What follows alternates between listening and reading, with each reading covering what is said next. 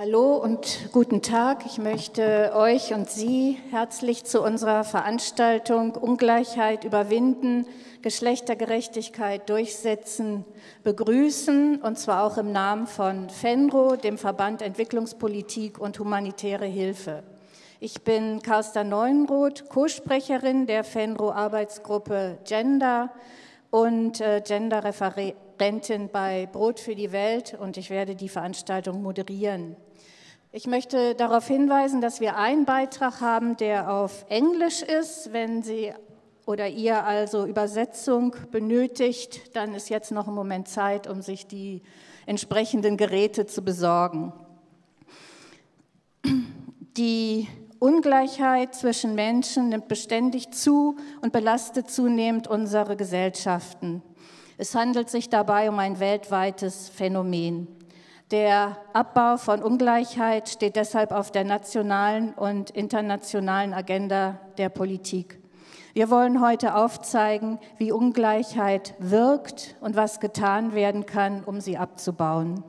Wir wollen ebenfalls aufzeigen, dass die Herstellung von gerechter Geschlechtergerechtigkeit einen Weg darstellt, um Ungleichheit zu überwinden.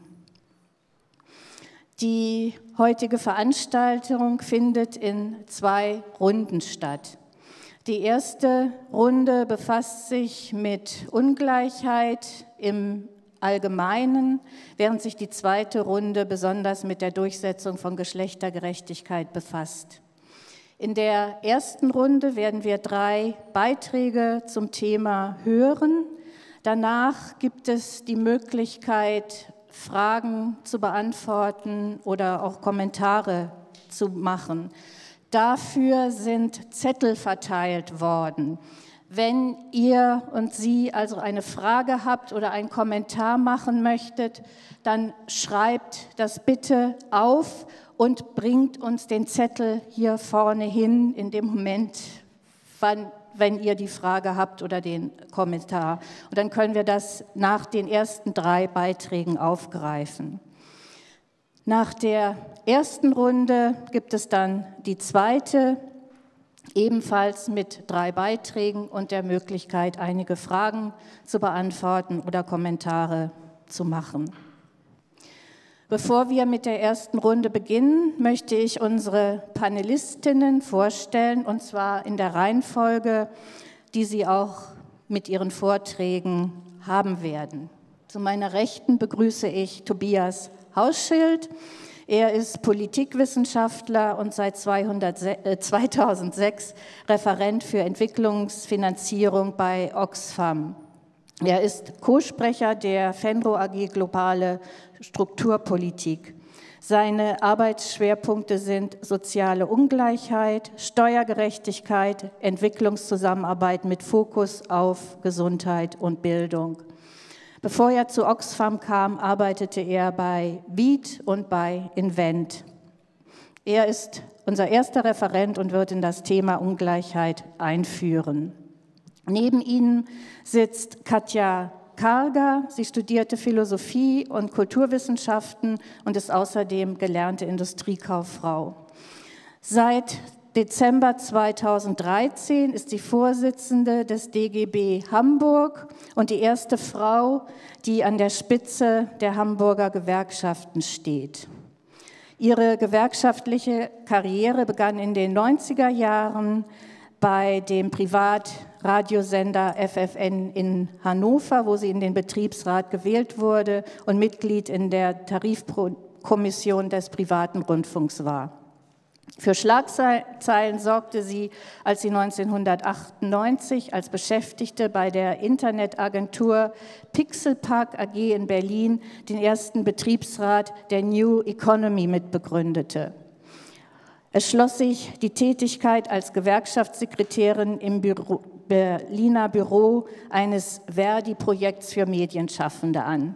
Frau Kager wird heute einen Input geben über Strategien zur Überwindung von Ungleichheit in Deutschland.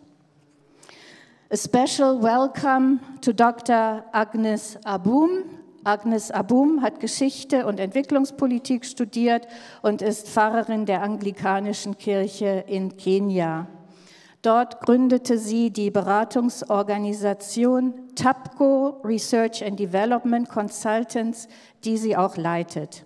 Weiterhin gründete sie Beacon, das Building Eastern Africa Community Network, ein glaubensorientiertes Netzwerk. Agnes Abum ist Präsidentin des Zentralkomitees des Ökumenischen Rats der Kirchen. Dort repräsentiert sie die anglische Kirche von Kenia. Außerdem ist sie führendes Mitglied im Christlichen Rat der Kirchen von Kenia und engagiert sich in zahlreichen weiteren Initiativen und Organisationen in der ökumenischen Bewegung und äh, Friedensarbeit ist ihr ein besonderes Anliegen. Agnes Abum befasst sich in ihrem Beitrag mit Ungleichheit und ihren Wirkungen in Entwicklungsländern und der Herausforderungen für den globalen Süden. Ihr Vortrag wird auf Englisch sein. Das sind die drei Inputgebenden für die erste Runde, aber die Vorstellung schließt jetzt auch äh, die Mitglieder des zweit, der zweiten Runde ein. Und ich begrüße Cornelia Kreischer. Sie ist Diplomkauffrau und hat auf nationaler und internationaler Ebene Führungstätigkeiten in der Konsumgüterindustrie durchgeführt. Zuletzt war sie als Geschäftsführerin in einem amerikanischen Konzern äh, tätig. Seit ihrer Studienzeit ist sie Aktivistin für Frauenrechte. So ist sie Mitinitiatorin und Mitgründerin von verschiedenen Frauenprojekten und Initiativen Seit zwei Jahren ist sie ehrenamtlich als erste Vorsitzende für den Land Landesfrauenrat Hamburg, dem Dachverband für über 60 Frauenverbände, aktiv. Sie spricht heute über das politische Empowerment von Frauen und Mädchen. Weiterhin begrüße ich Professor Dr. H.C. Christa Ranzio-Plath. Sie ist Juristin und Vorsitzende des Marie-Schley-Vereins, einer NGO, die sich für das wirtschaftliche Empowerment von Frauen in Entwicklungsländern einsetzt. Sie ist Vorsitzende von RANEP, dem Hamburger Rat für nachhaltige Entwicklungspolitik. Außerdem war sie zehn Jahre stellvertretende von, Vorsitzende von FENRO und Abgeordnete im Europaparlament. Veröffentlicht hat sie zahlreiche Artikel und Bücher zu Geschlechtergerechtigkeit, Europa und Entwicklungsländern. Frau Ranzio-Plath wird sich in ihrem Beitrag mit dem ökonomischen Empowerment von Frauen und Mädchen befassen. Last but not least begrüße ich Portia Safo. Sie ist Völkerrechtlerin, wurde in Ghana geboren und ist in Hamburg aufgewachsen. Derzeit arbeitet sie als interkulturelle Mediatorin sowie als Beraterin für Organisationsentwicklung, Menschenrechte und internationale Zusammenarbeit. Sie war für nichtstaatliche internationale Organisationen und die Vereinten Nationen tätig und engagiert sich bei Migrantinnen Selbsthilfeorganisationen, Selbstorganisationen. Seit 2015 ist sie im Vorstand des Eine Welt Netzwerk Hamburg aktiv, aktuell als Vorsitzende. Und sie setzt sich insbesondere für den interkulturellen Dialog ein. Als Gründerin von We Self setzt sie sich für die Rechte und das Empowerment von jungen Frauen und Mädchen ein. Sie wird heute zur Rolle der Zivilgesellschaft bei der Durchsetzung von Geschlechtergerechtigkeit sprechen. Soweit also unser Panel und ich hoffe, es wird eine interessante Veranstaltung und eine interessante Diskussion. Und hiermit gebe ich das Wort an unseren ersten Referenten, Tobias Hausche.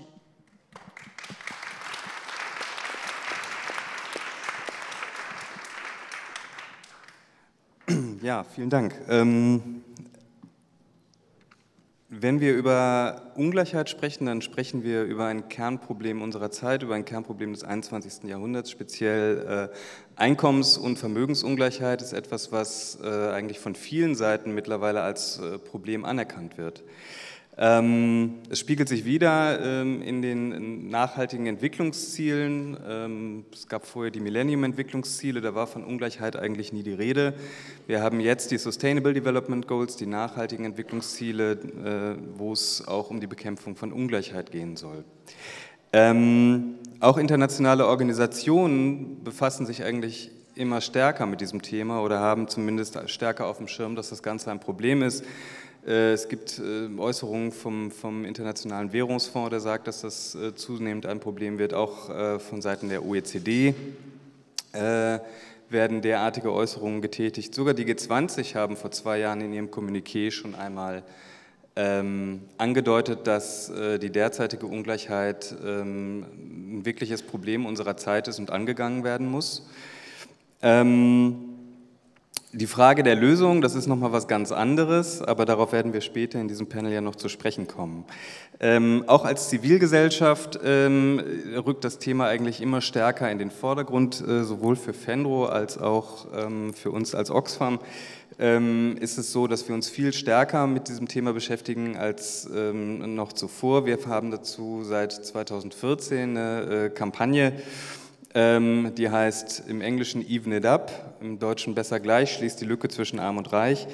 Ähm, und einer der Höhepunkte ähm, dieser Kampagne ist eigentlich immer jedes Jahr das Weltwirtschaftsforum in Davos, wo wir auch äh, darstellen wollen, wie denn eigentlich die derzeitigen Ausmaße von äh, internationaler Ungleichheit ist. Und eines, eines der wichtigen oder einer der wichtigen Anknüpfungspunkte für uns ist als Entwicklungsorganisation, ähm, dass wir äh, natürlich für eine gerechte Welt ohne Armut sind und wir auch wissen, dass äh, wirklich effektive Armutsbekämpfung nur dann gelingen kann, wenn wir auch wirklich soziale Ungleichheit äh, bekämpfen. Erst recht, wenn man bedenkt, dass, die, äh, dass wir planetarische Grenzen haben und dass es gilt, äh, Verteilungsgerechtigkeit zu schaffen in einer Welt knapper Ressourcen.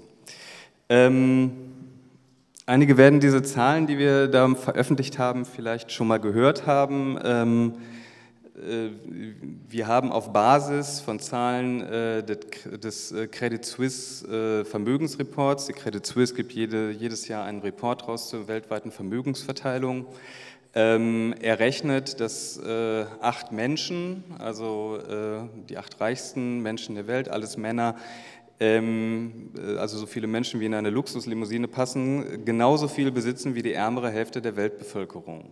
Das sind ungefähr 3,6 äh, Milliarden Menschen.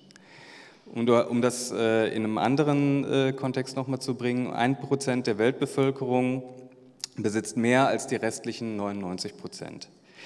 Ähm, wenn man sich die Zahlen anschaut, wir haben das in den letzten Jahren ähm, regelmäßig getan, dann kann man feststellen, dass die Zahl derjenigen, die so viel haben wie die ärmere Hälfte der Weltbevölkerung, eigentlich immer kleiner wird.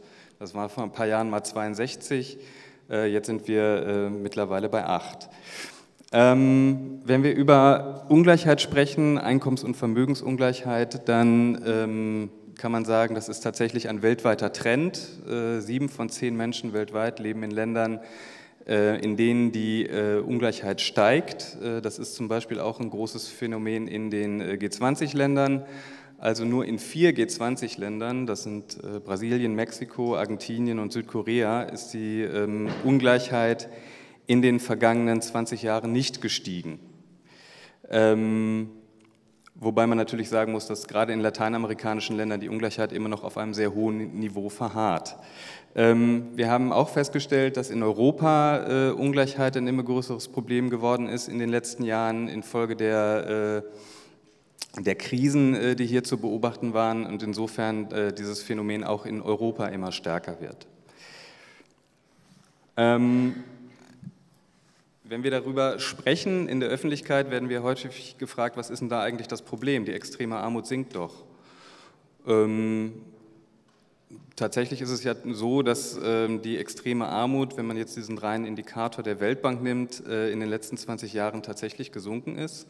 Aber zum einen ist es natürlich so, dass dieser Armutsindikator, der liegt bei ungefähr 1,90 Dollar, ähm, die ein Mensch am Tag verdient ähm, oder zur Verfügung hat, dass auch das kein menschenwürdiges Leben ermöglicht. Und zum anderen ist es so, dass selbst wenn man diesen Indikator anlegt, wir immer noch in einer Welt leben, wo 700 bis 800 Millionen Menschen eben in extremer Armut leben, wo 300.000 äh, Frauen jährlich an den Folgen von äh, in der Schwangerschaft sterben oder während der Geburt und 120 äh, Millionen Kinder nicht zur Schule gehen können. Ähm, wir wissen, dass wir heute bei diesen ganzen Indikatoren bei der Armutsbekämpfung viel, viel weiter sein könnten, wenn nicht die soziale Ungleichheit in so vielen Ländern so stark gestiegen wäre. Es gibt dazu Studien, die besagen, okay, die soziale Ungleichheit die äh, könnte, äh, wenn sie nicht gestiegen wäre, wäre die äh, Armutsquote heute um, bereits um zwei Drittel niedriger. Und es gibt auch Projektionen der Weltbank, die sagen, okay, wenn wir, wie das in den SDGs vorgesehen ist, wenn wir bis zum Jahr 2030 wirklich die Armut besiegen wollen, dann müssen wir ähm, tatsächlich auch ähm, die soziale Ungleichheit bekämpfen. Denn wenn sie nicht bekämpft, dann haben wir auch im Jahr 2030 immer noch ungefähr 500 Millionen Menschen, die in extremer Armut leben. Was sind aus unserer Sicht die Ursachen dafür, dass, äh, dass die Ressourcen weltweit ungleich äh, verteilt sind?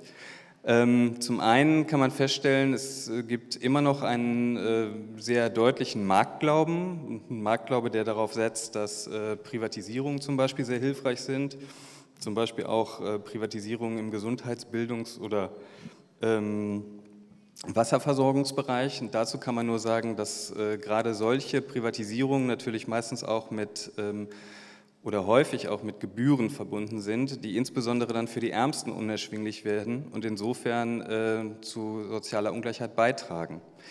Äh, ansonsten, und ich meine, das kann man jetzt äh, beim G20-Gipfel wiedersehen, ist diese Frage von Wachstum ähm, eigentlich völlig ungeklärt bzw. wird nicht in Frage gestellt. Also man geht davon aus, dass es einen gewissen Trickle-Down-Effekt gibt, also man hat Wachstum und das kommt dann allen in gleichem Maße zugute.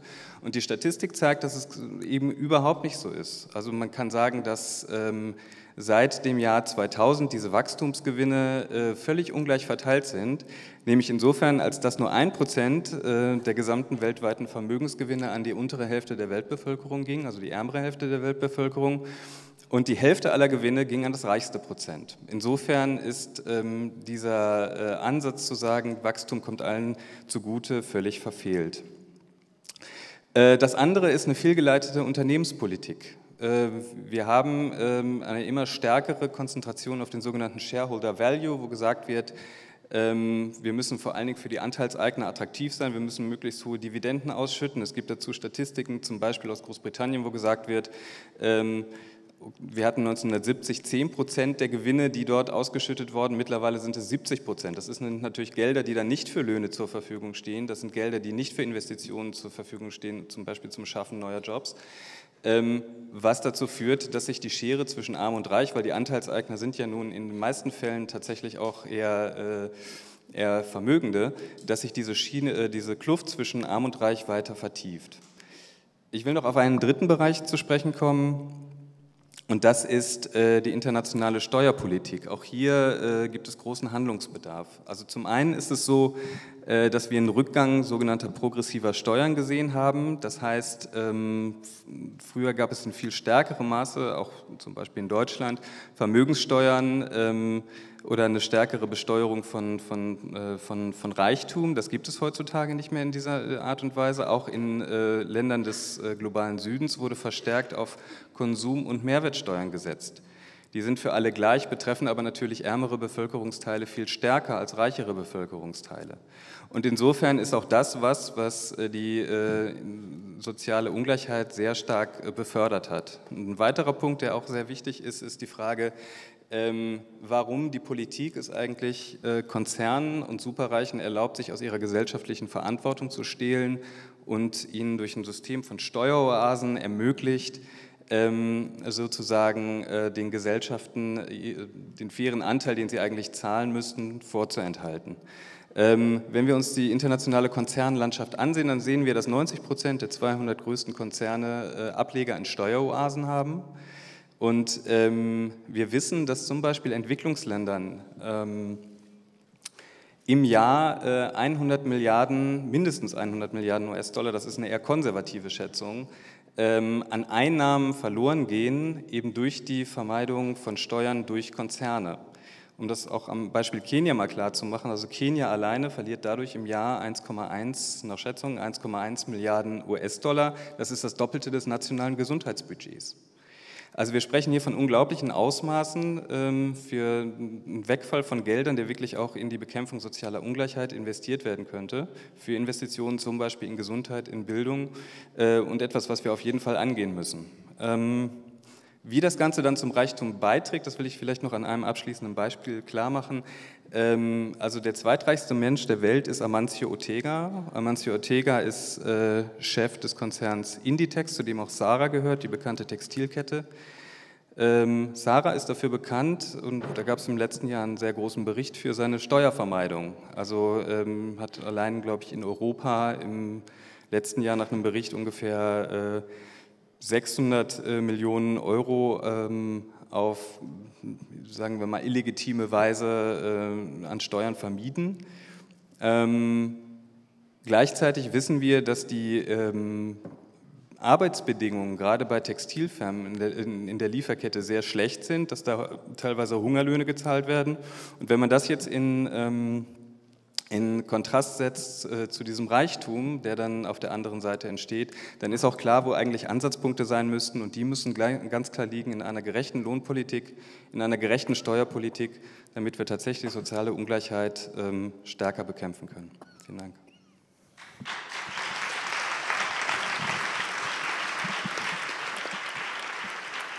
Vielen Dank, Tobias Hausschild, für diese Einführung, äh, die, denke ich, sehr deutlich gemacht hat, mit welcher Dimension oder welchen Dimensionen von Ungleichheit wir es zu tun haben. Was können wir dagegen tun? Ich gebe das Wort an Frau äh, Karger, die uns einen Input geben wird über Strategien zur Überwindung von Ungleichheit, zunächst hier in Deutschland. Frau Kader. Wunderbar, vielen Dank. Ähm, Tobias hat das Stichwort eigentlich schon genannt und das ist natürlich herzlichen Dank. Äh, das ganze Thema Lohngerechtigkeit ist natürlich das oder der Dreh- und Angelpunkt. Und ich möchte mich heute äh, an dieser Stelle mit meinem Input fokussieren. Auf der einen Seite auf den Bereich der Erwerbstätigkeit weil die natürlich ein ganz maßgeblicher Punkt ist, um überhaupt soziale Teilhabe äh, zu haben oder ne, die einfordern zu können und gleichzeitig auch das die Grundlage schafft, um überhaupt so etwas wie äh, Gerechtigkeit herzustellen. Und zweiter Fokussierungspunkt ist natürlich, weil das ist auch Titel dieser Veranstaltung, die Geschlechter. Gerechtigkeit, ähm, da auch nochmal zu thematisieren, die Gleichstellung von Mann und Frau. Ähm, das eine ist, äh, glaube ich, tatsächlich, auch das ist bei Tobias schon angeklungen, das Wesentliche ist die Einkommensgerechtigkeit. Und ähm, wir haben alleine in Deutschland noch die Situation, dass von den Menschen, die erwerbstätig sind oder sein könnten, ähm, über 80 Prozent die Männer erwerbstätig tatsächlich sind. Die Frauen kommen auf eine Quote von 54 Prozent. Das heißt, da kommt der erste Gap, den wir schon haben, nämlich in der Beteiligung am Arbeitsmarkt. Ähm, ist, das immer noch keine guten Zahlen. Ganz interessant ist, dass wenn wir das runterbrechen auf Hamburg, wir haben in Hamburg eine bessere Erwerbsbeteiligung von Frauen, da kommen wir zumindest auf 64 Prozent. Und das ist insofern sehr pikant, weil wir im westdeutschen Vergleich die beste Quote haben. Die einzigen, die eine bessere erwerbstätigen Quote von Frauen haben, ist Ostdeutschland. Aufgrund ihrer Geschichte natürlich eine ganz andere äh, Kultur auch damit haben, dass es selbstverständlich ist, dass Frauen arbeiten gehen können. Wir haben in den letzten Jahren in Hamburg einen sehr, sehr großen Zuwachs an Erwerbstätigkeitsbeteiligung von Frauen. Das heißt, die Beschäftigung von Frauen wächst enorm an, hat die größte Steigerungsquote. Das Problem ist, wenn wir uns diese Beschäftigungsverhältnisse genauer angucken, sind ganz viele davon überhaupt nicht existenzsichernd. Wir haben in Hamburg die Minijobs, das sind die 450 Euro Jobs. Viele von euch werden sie kennen. Wer studiert, macht die ganz gerne nebenbei. Aber wir haben eine Quote von 74 Prozent der Minijobs werden von Frauen gemacht. Und die sind nicht alle Studentinnen, sondern die meisten davon sind diejenigen, die zu Hause die Hausarbeit, die Sorgearbeit und die Pflegearbeit ihrer Familie übernehmen. Äh, die Männer tragen das nicht mit. Die haben lange nicht äh, diese Quote an Teilzeitbeschäftigung, äh, an Minijobbeschäftigung. Und die Teilzeitbeschäftigung ist genau das Gleiche. Also auch die Teilzeitbeschäftigten, die dann vielleicht ein bisschen mehr Stunden arbeiten als bei den Minijobs, ähm, liegen auch im Bereich von 65 bis 70 Prozent bei den Frauen in Hamburg. Und das sind alles Löhne, äh, die oder Gehälter, die da bezahlt werden, von denen die Frauen wirklich immer noch in dem klassischen Familienverständnis die Zuverdienerinnen sind, ähm, die aber in dem Moment, wo sie erwerbslos werden oder wenn sie später in Rente gehen, mitnichten davon leben können. Das heißt, wir haben da eine ständig drohende ähm, Armutsgefahr. Äh, viele kennen das, wenn sie sich dann von ihrem Partner trennen, stehen sie ähm, ziemlich alleine da. Also so dass unser wesentlicher ähm, äh, Arbeitsschwerpunkt, den wir als Gewerkschaften auch haben, ist tatsächlich zuzusehen, dass wir da zu einer Gleichstellung zwischen Frau und Mann kommen im Erwerbsleben, was wirklich den Namen auch verdient hat. Und ähm, ich habe mit sehr vielen Männern inzwischen gesprochen. Gott sei Dank, die junge Generation wird ja auch ein bisschen anders. Ganz viele von den Männern sagen, wir würden gerne weniger machen wenn wir es schaffen, tatsächlich Rahmenbedingungen herzustellen, die für alle so gleich sind, dass nicht auch die Männer immer unter die, dieser sozusagen kulturellen Anforderung leiden müssen, dass sie eigentlich diejenigen sind, die die Familienernährer sind. Also da, glaube ich, haben wir auch in Deutschland immer noch sehr, sehr viel zu tun. Und Unsere Strategie ist natürlich als Gewerkschaft naheliegend. Allererstes ist immer, wir brauchen Tarifverträge, Tarifverträge, Tarifverträge. Weil alle Studien, alle Untersuchungen, alle Zahlen, alles, was wir uns angucken, läuft immer darauf hinaus, dass Betriebe mit Tarifverträgen und mit betriebsrätlicher Mitbestimmung transparenter sind, demokratischer sind und eben auch tatsächlich die Frauen genauso bezahlt werden wie die Männer. Das heißt, durch Tarifverträge und Betriebsräte haben wir eine Chance, in den Betrieben äh, eine praktische und auch dann finanzielle Gleichstellung zu erreichen. Wir brauchen unbedingt eine viel stärkere Ausnutzung der sogenannten Allgemeinverbindlichkeit. Das heißt, dass es Tarifverträge gibt, die für einen Bereich abgeschlossen werden und dann auf die ganze Branche übertragen werden. Wir haben es zum Beispiel bei dem Friseurhandwerk. Ganz, ganz wichtig, weil die ja mit dem Mindestlohn überhaupt erstmal an, an, an sowas wie halbwegs existenzsichernde Löhne gekommen sind. Und der Tarifvertrag, der da abgeschlossen wurde, ist allgemeinverbindlich erklärt worden. Das heißt, er gilt jetzt für alle Beschäftigten im Friseurgewerbe, was ganz, ganz wichtig ist, um die Frauen, die da arbeiten, mal von den 3,50 Euro im Osten und den 5 Euro im Westen auf ein ähm, Existenzniveau zu bringen. Das muss viel, viel mehr passieren. Ähm, wesentlicher Punkt ist natürlich, wir brauchen die Aufwertung der Sorgearbeit und dass wir wegkommen davon, dass Sorgearbeit ein, das ist doch den Frauen quasi, ihr wisst schon, was ich sagen will. Ähm, nein, ist es nicht. Man kann sich die Sorgearbeit teilen. Das heißt aber auch, dass die Sorgearbeit aufgewertet werden muss, dass das nichts mehr ist, was Frauen sozusagen aus ihrem Herzen heraus total gerne freiwillig tun, ähm, sondern dass die ganze, ob nun Erziehungsarbeit, Pflegearbeit, ähm, die Betreuung von ähm, unseren Eltern und unseren Senioren ist eben kein Ehrenamt, was mal eben mit dem Pfennig äh, bezahlt werden soll. Das ist eine ganz, ganz qualifizierte Facharbeit und sie gehört auch genauso bezahlt wie eine industrielle Facharbeit. Und das ist einer der wesentlichen Punkte, damit damit wir da mal zu einer Gleichmäßigkeit kommen.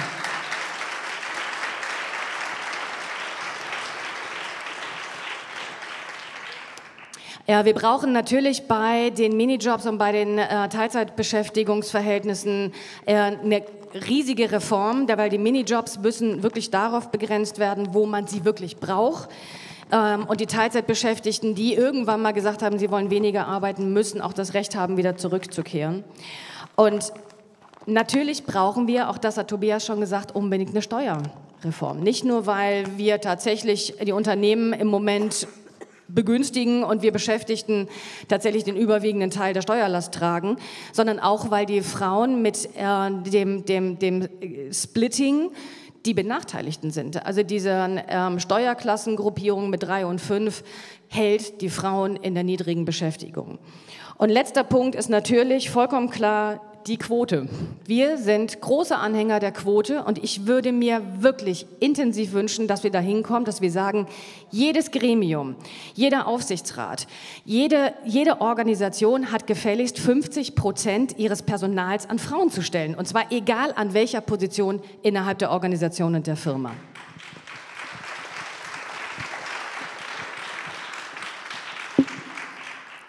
Vielen Dank, äh, Katja Karger, für diesen Blick hier auf äh, Deutschland und den vorgeschlagenen Strategien zur, zum Abbau von Ungleichheit und dem Hinweis oder den Schwerpunkt auf ähm, Lohngerechtigkeit, Steuergerechtigkeit, Aufwertung der Sorge- und Pflegearbeit und die Quote. Nach diesem Blick hier auf äh, Deutschland wollen wir den Blick auf die internationale Dimension weiten und äh, hören, wie die Situation in den entwickelt, sich entwickelnden Ländern aussieht. Und dazu gebe ich das Wort an Agnes Abum. Agnes, please. Thank you very much. Uh, thank you for coming.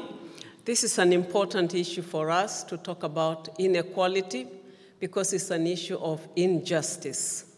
It is an issue of human dehumanization of one society or one sector of a society.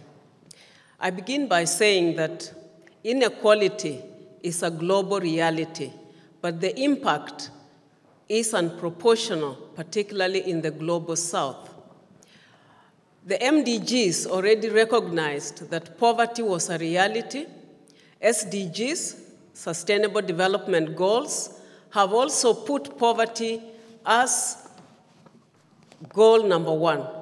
Having done that, we are aware that the impact of poverty in the global south has several dimensions, and I would like to mention a couple of them.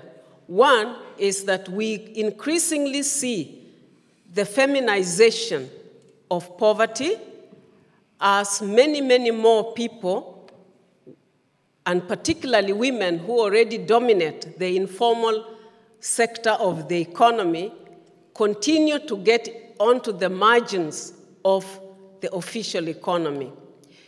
Secondly, we also see that a number of young people are unemployed and as a result of huge bulge of young people, they are becoming centers of crime, centers of recruitment for radicalization because they have no hope for a future.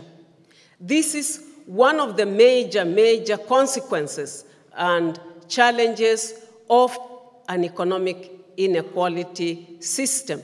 We have an economic paradigm that thrives on vomiting out majority of the people. The second point I'd like to make is the fact that growing economies, and this is what Tobias has said, Africa, for example, out of the 10 economics that are, economies that are growing, seven are in Africa. And yet, out of those seven, it is a very small fraction that is benefiting from that growth majority are not benefiting from the growth.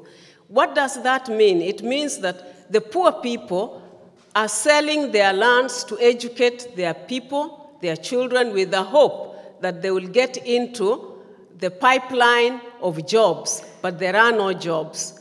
Secondly, they cannot afford health, and so you have an ailing population, a population that cannot live abundant life to its fullness. Uh, the third thing is the trade. We are meeting here in the backdrop of the G20. The G20 accounts for 80% of the gross domestic product of the globe. It accounts for 75% of all the trade. The global south today is an arena for extractive industry. What does extractive industry do? Mines and the rest dislocate, dislodge people. Lands are being taken without compensation. So you have a lot of landless people. Even small farmers have nowhere to farm. So lack of food sovereignty, food security, droughts as a result because they don't care for environment. And you have heard recently that one of the largest economies in terms of leadership is not going to, to respect climate justice, and therefore climate injustice and its impact on the refugee, climate-related refugees. We, the other impact is economic refugees and migrants that are leaving the global south in search of better opportunities. And finally, I'd like to say that so long as 51% of a population in the global south remains outside the policy framework of any economy, and that is women, girls, then there can never be proper human development. So even the social development goals will not be achieved until and unless the whole financial architecture and the whole economic architecture in terms of paradigm shifts are, reflect, are reassessed and reviewed with the future generations in mind.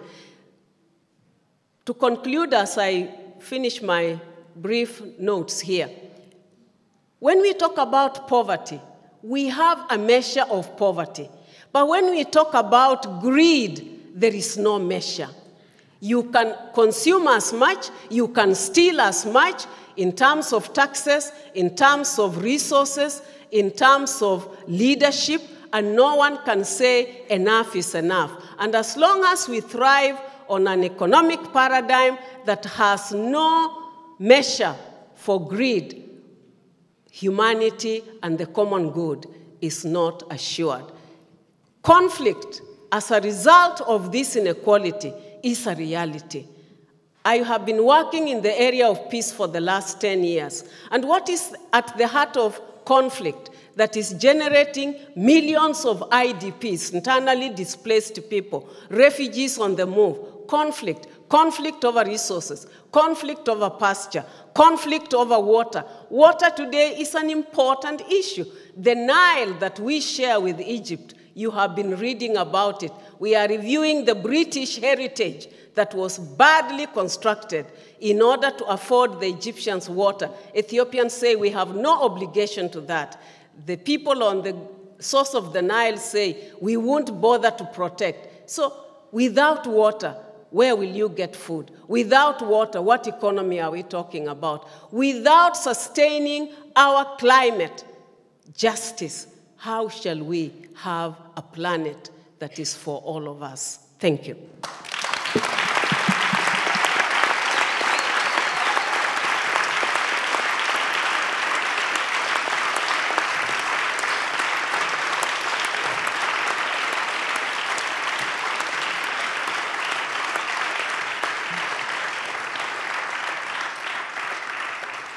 Vielen Dank, Agnes, für diesen Blick auf den globalen Süden und letzten Endes auf die eine Welt. Und äh, damit äh, beenden wir die erste Runde von Inputs und äh, jetzt besteht also die Gelegenheit zu Kommentaren oder Fragen. Ähm, gibt es ausgefüllte oder beschriebene Zettel, die wir hier bearbeiten können?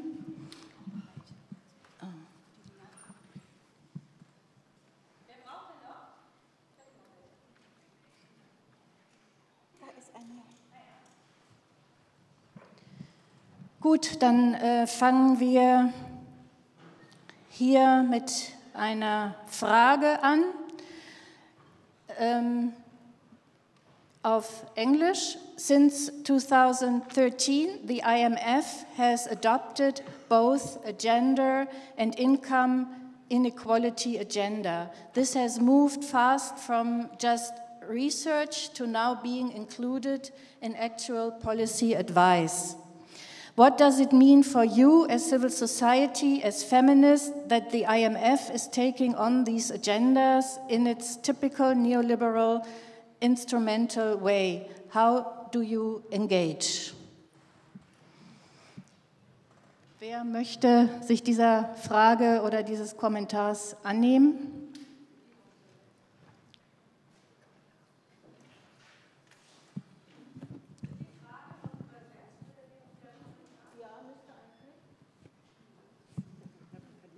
Hören Sie die? Ach so, okay. Gut, dann versuche ich das.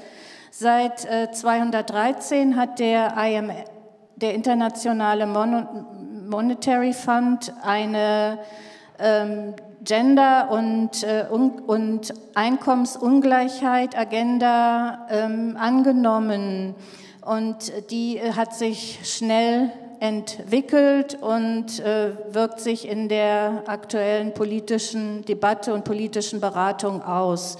Und die Frage ist, was bedeutet es für uns hier als Zivilgesellschaft und Feministinnen, ähm, dass der IMF diese ähm, Agenda ähm, angenommen hat und in, in, diesen, in dieser typischen neoliberalen Art und Weise. Wie kann Zivilgesellschaft ähm, sich engagieren?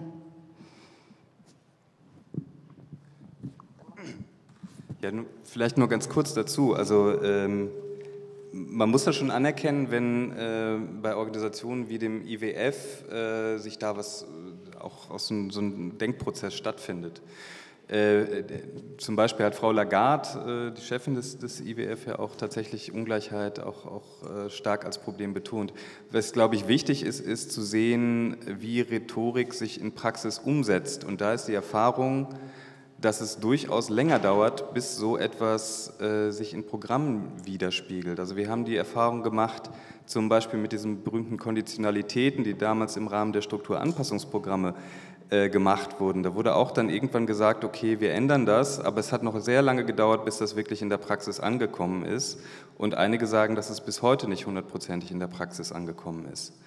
Und insofern ähm, ist es schon mal sicherlich ein guter Schritt, aber ich glaube, was in dieser Debatte wichtig ist, man konzentriert sich dabei, das läuft unter dem, unter dem Stichwort Pro-Poor Growth.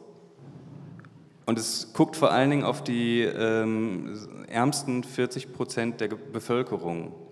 Es spricht aber, aber dahinter steht Growth, dahinter steht Wachstum.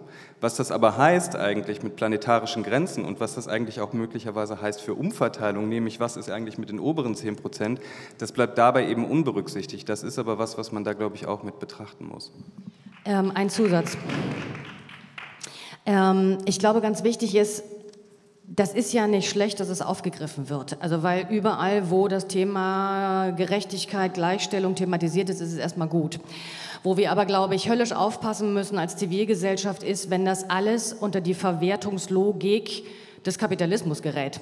Und das ist eine Diskussion, die den Frauen ja genauso blüht wie im Moment den äh, Geflüchteten, den Migranten, also alles, was sozusagen noch nicht bei drei auf dem Baum ist, wird in irgendeiner Art und Weise verwertet und zwar in der jeweiligen Logik. Und ich glaube, was unsere Aufgabe ist, dass wenn das denn schon thematisiert wird, und das ist gut, dafür zu sorgen, dass das in unserem Interesse ist und nicht in dem Interesse von anderen. Und ich glaube, das ist der ganz wesentliche Punkt, wo wir immer höllisch darauf aufpassen müssen, dass das sozusagen für uns die richtige Richtung nimmt und nicht für andere.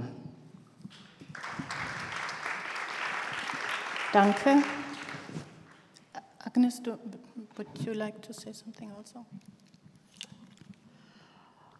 I think it is a, a good initiative. The IMF and the World Bank have taken on all the terminology that the civil society, the churches have had since the 70s participation, uh, justice, voices of the poor.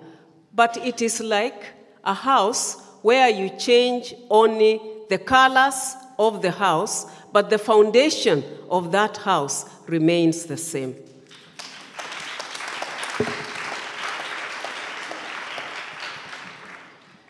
Ja, vielen Dank für diese Antworten. Hier habe ich noch einen äh, Kommentar. Da geht es um Ungleichheit und Geschlechterungerechtigkeit haben ein Problem gemeinsam, und zwar die Abwertung von Menschen, die von Bildung, Einkommen, Erwerbsarbeit und so weiter ausgeschlossen sind. Und das betrifft ja auch besonders die Frauen.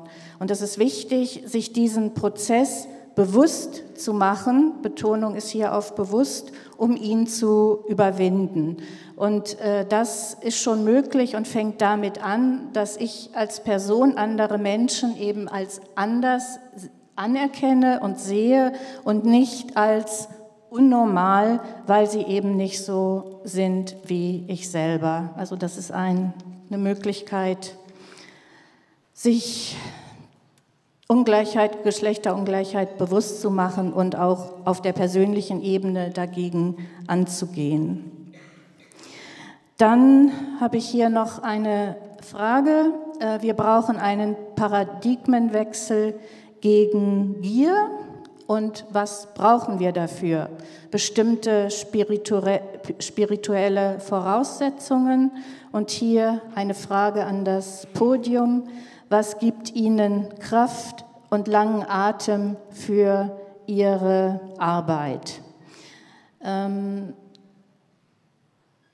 is this translated? Okay. Möchte jemand darauf antworten?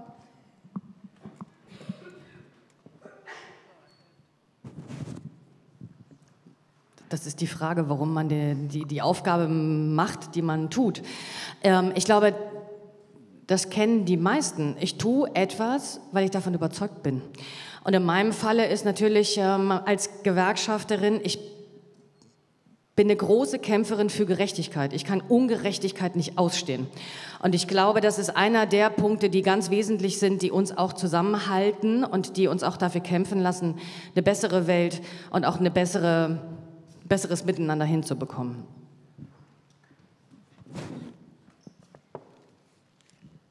I think my spiritual values that demand of me to love you as you are, in spite of and despite, to care for nature so that my future generations will also benefit just like I have benefited from the previous generations. The values of life. And life, the way we have commodified it, the way we have commercialized it, cannot be acceptable. So for me, I am totally against injustice because it goes to the very core of my faith, to the very core of my values, that injustice dehumanizes the dignity of the other. And we cannot accept it. We cannot accept when 1% of the world has changed the values to suit itself at the expense of 90 plus percent of the globe and taken creation as if it belongs to them. The planet is for everybody.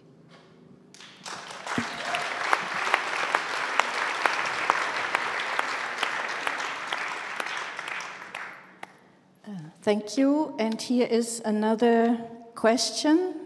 Oh, ja, danke für die Beiträge. Und hier gibt es noch eine Frage. Um, und die heißt, to say wage uh, justice is the core of the problem. It is to talk in terms of capitalism as a system. Und hier die Frage, do you think that this issue is at all solvable within the capitalist system that in itself requires a high level of inequality to function?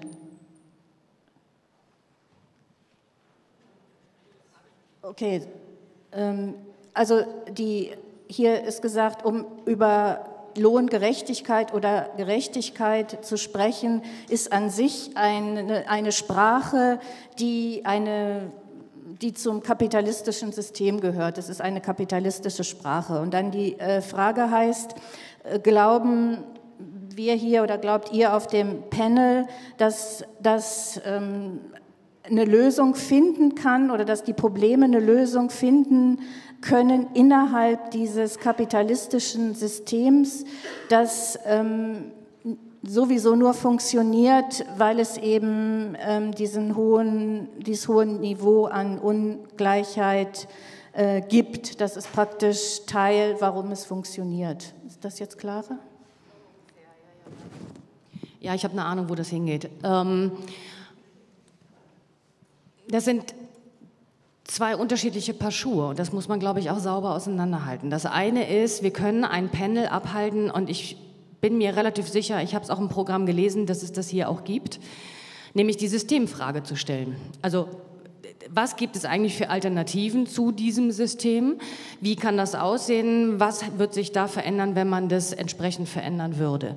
Dann müssen wir nicht über Lohngerechtigkeit, über Tarifverträge und ähnliches reden. Das ist vollkommen richtig.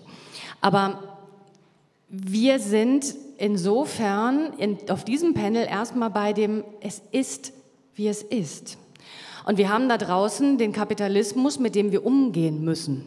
Und ich kann natürlich als Gewerkschafterin nicht sagen, seht zu, wo ihr bleibt, sondern natürlich ist meine Aufgabe die zu sagen, wenn das so ist, wie es ist, dann sorge ich wenigstens dafür, unter anderem über die Tarifverträge, einen Teil der Umverteilung von oben nach unten herzustellen, dass nämlich die, die arbeiten und die Mehrwert dieser Gesellschaft erwirtschaften, auch tatsächlich was davon haben und was davon abbekommen, was hier an Mehrwert produziert wird. Das ist unsere Aufgabe, sozusagen den Teil abzuschöpfen, solange wir in diesem System sind, in dem wir sind. Und von daher glaube ich, ähm, ist das natürlich eine redundante Frage. Solange wir Kapitalismus haben, werden wir auch über diese Lohnfragen diskutieren. Wenn wir das nicht mehr haben, stellen wir andere Fragen. Das ist richtig.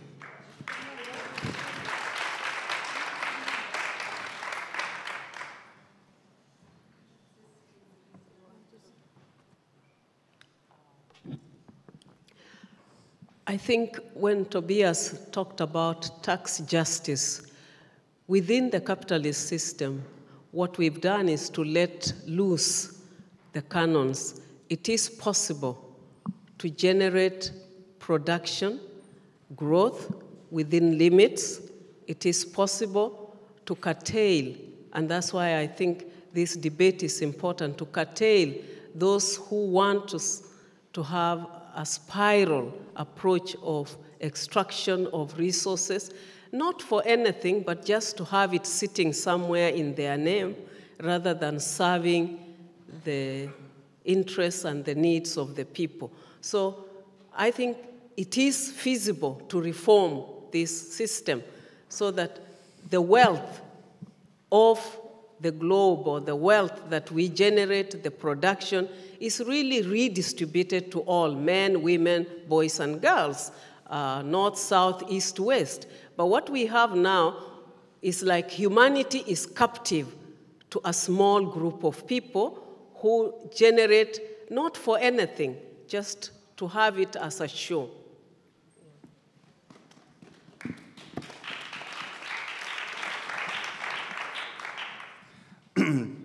Ja, ich kann mich da eigentlich nur anschließen. Ich glaube, dass äh, also zu der Frage, ob, ob, ob äh, Ungleichheit im, im Rahmen des Systems überhaupt abschaffbar ist, ist sie sicherlich nicht. Aber wir sind nun mal in dem System, in dem wir sind. Und äh, ich glaube, was uns eint, ist äh, das Ziel, die Welt, wie sie im Moment ist, einfach gerechter zu machen. Und deswegen ähm, versuchen wir ja eben auch auf internationale Politik ein, einzuwirken, versuchen eben äh, Leitplanken einzuziehen, für internationale Gerechtigkeit und dürfen, glaube ich, ähm, eben weil die Welt nun mal so ist, wie sie ist, äh, darin auch nicht nachlassen. Und ähm, ja, ich glaube, dass das äh, auf jeden Fall ein lohnenswertes Ziel ist. Danke. Ähm, wir haben jetzt noch eine Frage, die ich auch noch aufgreifen möchte. Und zwar geht es hier um Südafrika, dem einzigen afrikanischen Mitgliedsstaat der G20. Die Frage lautet, welchen Einfluss hat diese Mitgliedschaft auf Subsahara-Staaten in Bezug auf Ungleichheit, wenn Südafrika als das Tor zu Afrika betrachtet wird? Könnte diese Mitgliedschaft auch der anderen BRICS-Länder, auch zu einem Umdenken innerhalb der G20 führen.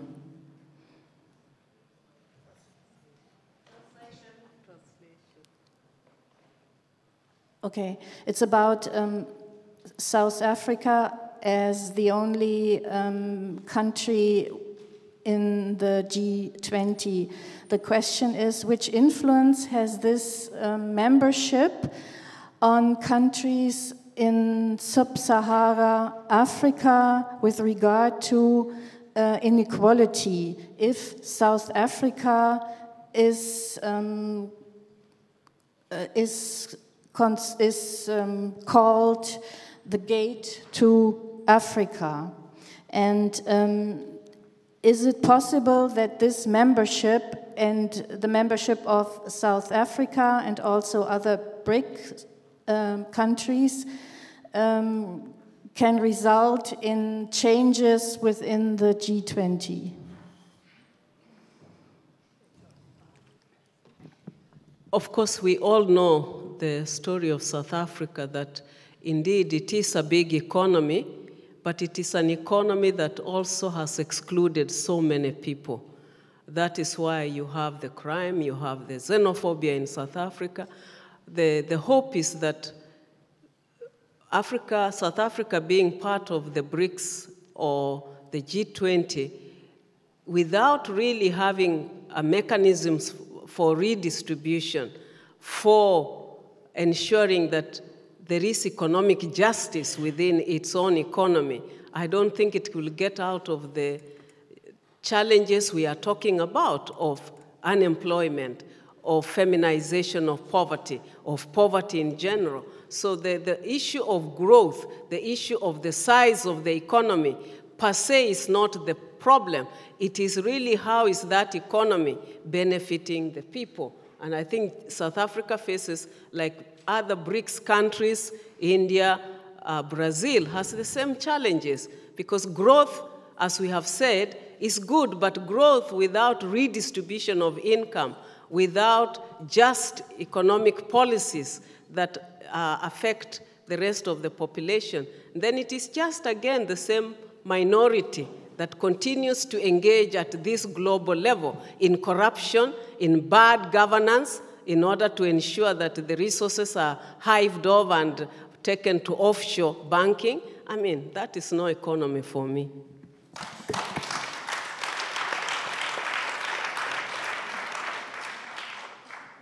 Ja, vielleicht in Ergänzung zu dem, was Agnes gerade gesagt hat. Also äh, ich meine, die, die G20 haben ja jetzt gerade eine große Initiative für Afrika vorgelegt, also äh, wo es um die Compact Swiss Africa geht, wo es darum gehen soll, Privatinvestitionen in Afrika zu fördern. So.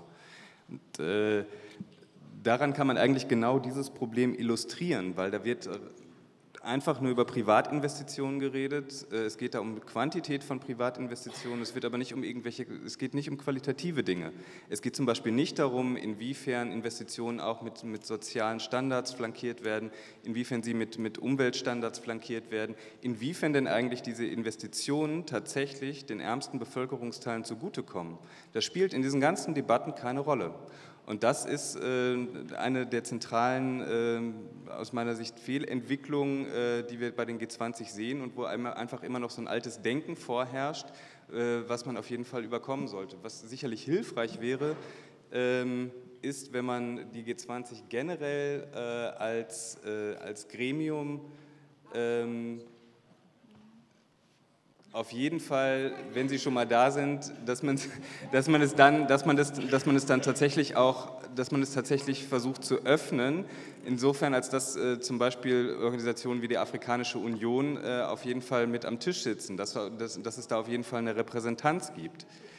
Also wir haben ansonsten einfach das Problem, und das sehen wir auch zum Beispiel im Bereich Steuergerechtigkeit, dass, äh, dass, dass die äh, Aktionspläne verabschieden, die zum Beispiel dann zur, zur Eindämmung von, von Steuervermeidung von Unternehmen führen sollen, die natürlich deren Agenda widerspiegeln, aber sicherlich nicht die Agenda eines Großteils der Entwicklungsländer. Und das ist ein echtes Problem. Wenn da natürlich äh, Weltmaßstäbe gesetzt werden oder, oder Regeln festgesetzt werden für die internationale Steuerpolitik, und der Großteil der Länder ist überhaupt nicht mit am Tisch, dann ist das äh, eben alles andere als inklusiv. Und wenn die G20 sich hinstellen und sagen, sie wollen für eine gerechtere Globalisierung äh, sorgen, dann geht das eben genau in die falsche Richtung.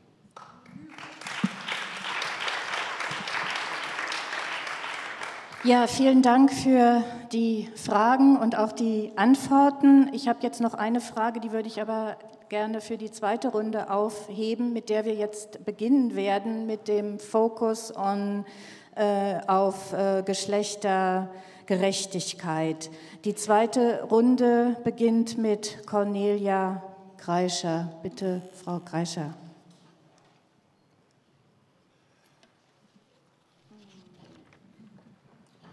Äh, vorweg, was ich sehe, gefällt mir. Denn der Anblick, der sich von mir aus bietet, ist recht ungewohnt. Ich sehe viele junge Frauen. Und genau sie brauchen wir, wenn es weiter vorangehen soll oder nicht zurückgehen soll mit der Geschlechtergerechtigkeit. Ich freue mich sehr darüber. Frauen, die nichts fordern, werden beim Wort genommen. Sie bekommen nichts. Simone de Beauvoir. Solange mehrheitlich Männer darüber entscheiden können, was für Frauen, Kinder und sie selbst gut ist, wird es die erforderlichen substanziellen Quantensprünge nicht geben. Zitat von der ersten Frauenministerin Österreich. Ich will nicht die Jahreszahl sagen, das löst eine Depression aus. Wir leben in einer großen Zeit, wir leben in einer Zeit mit großen Herausforderungen, weltweit, europaweit, deutschlandweit. Wir leben auch gleichzeitig in einer Welt mit vielen neuen Chancen, um die Herausforderungen Probleme anzugehen, zu bewältigen. Zwei Stichwörter hier. Wir haben eine erstarkte Frauenbewegung. Wir erleben eine unglaubliche Frauensolidarität. Und ich sehe auch als Chance die Digitalisierung.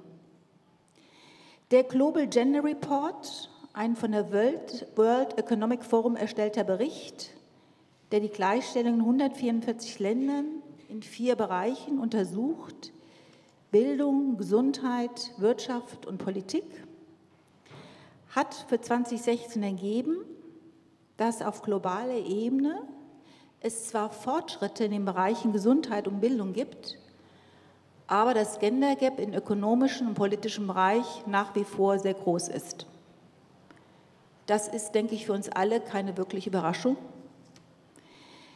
Der zweite Gleichstellungsbericht der Bundesregierung vor kurzem erschienen hat bestätigt, Zitat, bei der Verteilung von Belastungen und Chancen zwischen den Geschlechtern geht es in unserer Gesellschaft immer noch ungerecht zu. Frauen arbeiten oft mehr und bekommen dafür weniger. Dies gilt allerdings nicht nur für Deutschland, das ist etwas, denke ich, was europaweit und weltweit auch zu beobachten ist. Für den politischen Teil aktuell genügt ein Blick in die Zeitung oder in das Fernsehen. Morgen ist es soweit. Die G20-Gruppe, viele Männer, wenige Frauen treffen sich. Die Gruppe ist machtvoll, repräsentiert sie doch zwei Drittel der Weltbevölkerung 85 Prozent des Bruttoinlandproduktes und 75 Prozent des Welthandels. Und in keinem der vertretenen Länder gilt Women First. Es gibt jedoch gravierende Unterschiede innerhalb der Gruppe und jedes Land hat eine eigene Geschichte der Frauenemanzipation. Es gehört ein Kanada mit einem Premierminister, der sich als Feminist bezeichnet, dazu. Eine USA mit einem Präsidenten, der sich nicht als Sexist bezeichnet, aber einer ist. Frankreich mit neuerdings 50 Prozent Frauen in der Regierung, aber auch Länder, die nicht nur in Sachen Gleichberechtigung eine Rolle rückwärts machen, wie zum Beispiel Russland, das den Schutz vor häuslicher Gewalt aufgehoben hat. Es gehört auch dazu Saudi-Arabien, und jetzt wird politisch ein bisschen unkorrekt, wo anlässlich des Besuches der First Daughter es zu einem Kommentar kam, jetzt wissen wir, wie eine Frau aussieht. Das ist die Vielfalt passt nicht ganz, aber ich würde sagen, diese Gruppe ist echt bitter. Und das ist die Gruppe, von denen wir hoffen, dass sie in Sachen Gleichstellung uns weiterbringt.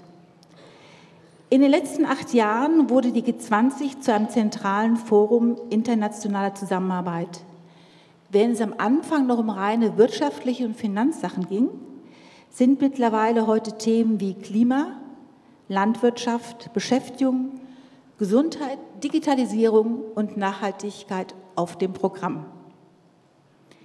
Die Rechte der Frauen, besonders in der Arbeitswelt, bleiben außen vor.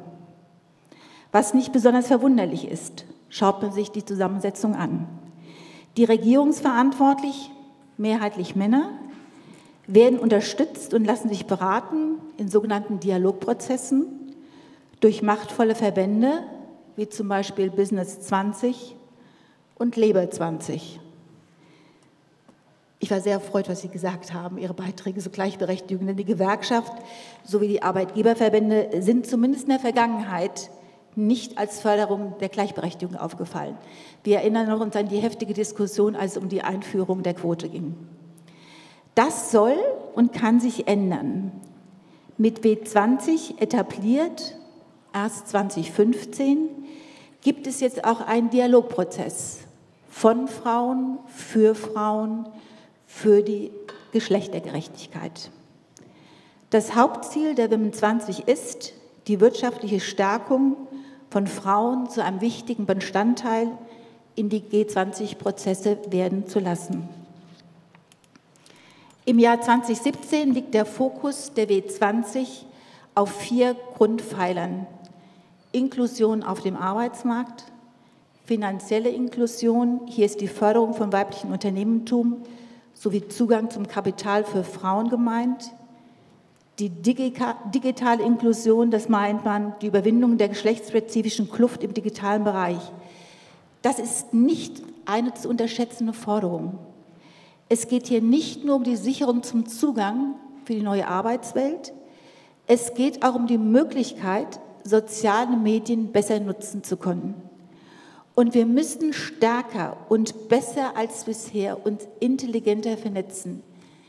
Innerhalb Deutschlands, außerhalb Deutschlands, Europa und weltweit. Im Rahmen einer von Landesfrauenrat organisierten Europaveranstaltung erzählte die Europaabgeordnete, ich zitiere wörtlich, die Geschwindigkeit, mit der sich europäische Rechtsparteien mit einem klaren Frauenbild vernetzen, ist atemberaubend. Wir Frauen dürfen nicht das Netz unseren Feinden überlassen.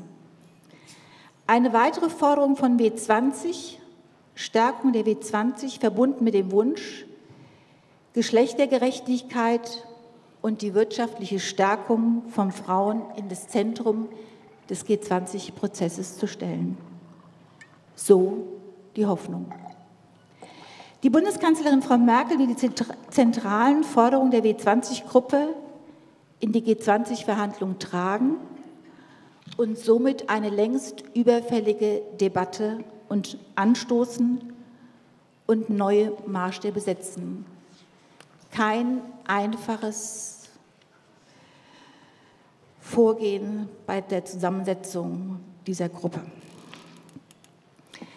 Hilfreich ist, und das finde ich ganz toll, und das wurde schon, vorhin auch schon mal angesprochen, dass die W20 für ihre Forderungen einen Implementierungsplan mit Kennziffern zur Erfolgskontrolle entwickelt hat. Wir haben ja in der Vergangenheit schon häufig erlebt, wir haben was zugestanden bekommen, aber meistens unverbindlich und ohne die Möglichkeit zu kontrollieren. Hier liegt was vor, was es an und für sich den Entscheidern leicht macht, zu sagen, nehme ich, es ist aufgesplittet in, das ist die Aufgabe, so stellen wir uns die Umsetzung vor und das sind die Kennzahlen, mit denen wir euch messen wollen. Es ist sehr wichtig, eine Forderung ne, auch immer mit gut kontrollierten Kennzahlen zu verbinden. Eine weitere interessante Forderung und wichtig ist, die strukturierte gendergerechte Finanzpolitik durch die Einführung von Gender Budgeting wirksam umsetzen. Auch das ist ein gutes Instrument für die Erfolgskontrolle. Dieses Gender Budgeting ist übrigens auch eine Forderung von Agenda 2030. Wenn uns das wirklich gelingen würde, dass hier die G20 da mitgehen würde, es wäre ein unglaublich großer Erfolg, ein Riesenschritt vorwärts. Denn Geschlechtergerechtigkeit kriegen wir nur erreicht, wenn wir sie anschließend auch gut kontrollieren können. Das ökonomische Empowerment von Frauen ist der richtige Schritt zum Ziel der wirtschaftlichen Unabhängigkeit von Frauen. Zwingend einhergehen muss das politische Empowerment von Frauen. Das eine kann nicht ohne das andere sein. Bedingungen schafft dafür, Politik, als, Politik müssen wir als Schnittstelle für das ökonomische Empowerment verstehen. Die Aufgabe besteht darin, in guten Rahmen Bedingungen zu schaffen, dass Frauen ökonomisch, wirtschaftlich ihre eigene Existenz absichern können. Dass es kein Pay-Gap gibt, kein Rentengap und kein Care-Gap. Voraussetzung für eine 50 zu 50 Repräsentanz auf allen Ebenen muss ermöglicht werden. Durch Einführung von Quoten. Das ist die Voraussetzung, dass wir es nachhaltig schaffen, Frauen für Frauen Politik machen zu lassen. Wir brauchen eine gute Politik, eine Politik gemacht von Frauen. Doch die Realität sieht anders aus. In der Politik, in der Fraueninteresse verhandelt werden, befinden sich überwiegend noch Männer. Die Frauen sind unterrepräsentiert und dadurch haben wir relativ wenig Chancen, unsere Ideen und Forderungen durchzusetzen. Es gibt auch gute Beispiele in letzter Zeit, wie, wo es auffällig war, wie wichtig es war, dass in der Politik Frauen sind. Aktuelles Beispiel war der 177er oder die Quote gewesen, wo es gelungen ist, Frauen zu mobilisieren außerhalb und dann in der Politik Frauen gefunden haben, diese Themen aufgenommen haben. Wir können entwickeln, was wir wollen. Wir können Forderungen stellen, wie wir wollen. Wenn in der Politik keine Frauen sind, die diese Ideen aufnehmen und für uns umsetzen, wird es verdammt zäh und dauert noch länger wie bisher. Die Überrepräsentanten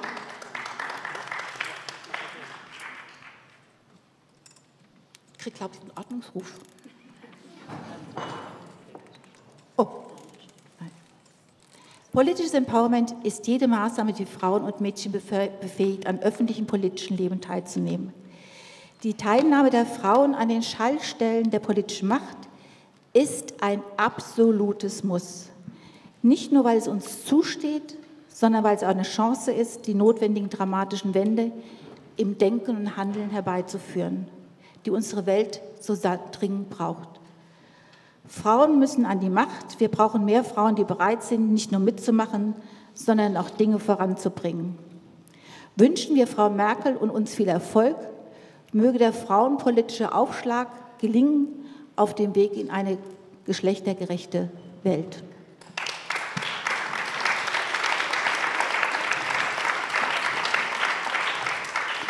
Vielen Dank, äh, Frau Kreischer. Sie haben ja schon das äh, ökonomische Empowerment von äh, Frauen angesprochen und äh, Frau Ranzio-Plath wird das jetzt noch äh, vertiefen. Bitte, Frau Ranzio-Plath. Ich würde ganz gerne mit der Feststellung beginnen, dass Armut sexistisch ist, die Wirtschaft sexistisch ist, die Arbeitsmärkte sexistisch sind. Und deswegen brauchen wir Gender Economic Empowerment. Gerade im Zusammenhang mit dem G20 wird uns wieder deutlich, dass in weiten Teilen der Welt die Rechte der Frauen bedroht werden. Und G20 müsste eigentlich betonen, dass es ohne die Frauen- und Menschenrechte keinen Fortschritt auf dieser Welt geben kann. Und das gilt nicht nur für Herrn Trump, aber auch. Das Economic Empowerment von Frauen muss als Frauen- und Menschenrecht bestätigt werden. Es ist nicht nur die Voraussetzung für eine nachhaltige Entwicklung, die alle mitnimmt, sondern sie ist auch die Voraussetzung für die Umsetzung der UN-Agenda 2030. Wenn Geschlechtergerechtigkeit und Gender Empowerment nicht umgesetzt werden, können die anderen Ziele der Vereinten Nationen auch weltweit nicht erreicht werden. Und es ist schließlich ein Menschenrecht, zu gleichen Wettbewerbsbedingungen auf dem Arbeitsmarkt teilnehmen zu können. Die UN-Menschenrechtserklärung unterstreicht, dass jeder Mensch gleich an Würde und an Rechten ist. Wir müssen das einfordern. Es gibt übrigens kein einziges Land auf der Welt, das keine frauendiskriminierenden Gesetze hat. Damit gibt es keine Region auf der Welt, in der Männer und Frauen gleichgestellt sind. Und die G20 machen dabei nun wirklich keine Ausnahme. Es ist nicht nur so, dass wir nur zwei Regierungschefinnen haben, es ist auch so, dass sie auf der Rangliste des Gender Economic Empowerment nicht zu den Besten gehören. An der Spitze stehen die kleinen nordischen Staaten. Deutschland und Frankreich retten die Statistik, weil sie auf Platz 13 und 14 sind. Schließlich liegt Saudi-Arabien auf Platz 141. Aber Russland und China und Indien sind auch knapp unter 100 und auch die USA, die ja eine Gleichstellungsgesetzgebung haben, liegen auf Platz 47. Und wie also auch die Weltberichte feststellen, sind in allen Ländern weltweit nur 58 Prozent der Frauen auf dem Arbeitsmarkt gleichberechtigt tätig. Das gilt für alle Frauen weltweit. Denn 70 Prozent der Working Poor sind Frauen. In Europa, in den USA, in Asien, aber auch in Afrika. Und wir wissen, dass die Frauen dort nicht Unternehmensgründung betreiben, weil sie so reich sind und noch reicher werden wollen, sondern sie sind so unternehmerisch tätig, weil sie so arm sind, dass sie überhaupt keinen einzigen Arbeitsplatz finden können, außer dass sie sich als Händlerin zum Beispiel auf den Straßen oder auch auf den Märkten bewegen. Und deswegen ist dieser Unternehmensfonds, der jetzt gegründet wird, auf dem G20 und gespeist wird aus Hunderten von Millionen von teilnehmenden Staaten und sicherlich auch vermögenden Milliardären. Der geht in die Hände der Weltbank und die werden sicherlich nicht die Frauen im informellen Sektor in Afrika, die in ländlichen Gebieten leben, wo die Armut am größten sind, unterstützen, damit sie nicht nur eine Existenzgründung, sondern auch eine Unternehmensgründung bewerkstelligen können. Ich finde, wir müssen fordern, dass nicht nur die Mittelschichten von diesem Unternehmensgründungsfonds äh, berührt werden und gefördert werden, sondern dass auch arme Frauen den Zugang zu dem vielen Geld haben müssen, das nicht in den Töpfen der Weltbank verschwinden darf. Und ich will noch sagen, wir wissen alle um das Thema Lohnungleichheit. Äh, sie verdienen eben, wie gesagt, weltweit, so sagt man, äh, nur gut halb so viel wie ihre Kolleginnen und Kollegen. Aber wir sind nicht auf dem Vormarsch. Der Vormarsch der Gleichberechtigung geht nicht mal mehr in Trippelschritten vor sich. Weltweit sagt man, dass heute die schlechtesten Werte vorhanden sind, was die ökonomische Existenz von Frauen betrifft. Nein, auch für Europa stellt das Gleichstellungsinstitut, das Europäische Gleichstellungsinstitut fest, dass in den letzten zehn Jahren sich eigentlich zugunsten der Gleichstellung der Frauen nichts bewegt. Und liebe Freunde und Freundinnen, es ist doch so, wenn wir nicht dieses Gender Economic Empowerment kriegen, und wird die Gleichstellung auf sich warten lassen. Und davon wird auch abhängig sein, wie es um die sexuelle äh, Autonomie, Autonomie, der Frauen bestellt ist, die keinen Zugang äh, zu den Dienstleistungen und den Gesundheitssystemen haben. Das eine greift dabei dann auch ins andere, weil machtpolitische Verhältnisse verwoben sind. Ich möchte deswegen wirklich dafür plädieren, dass wir nicht mehr nur von der Nichtdiskriminierung sprechen, sondern dass wir tatsächlich von Frauenmenschenrechten sprechen.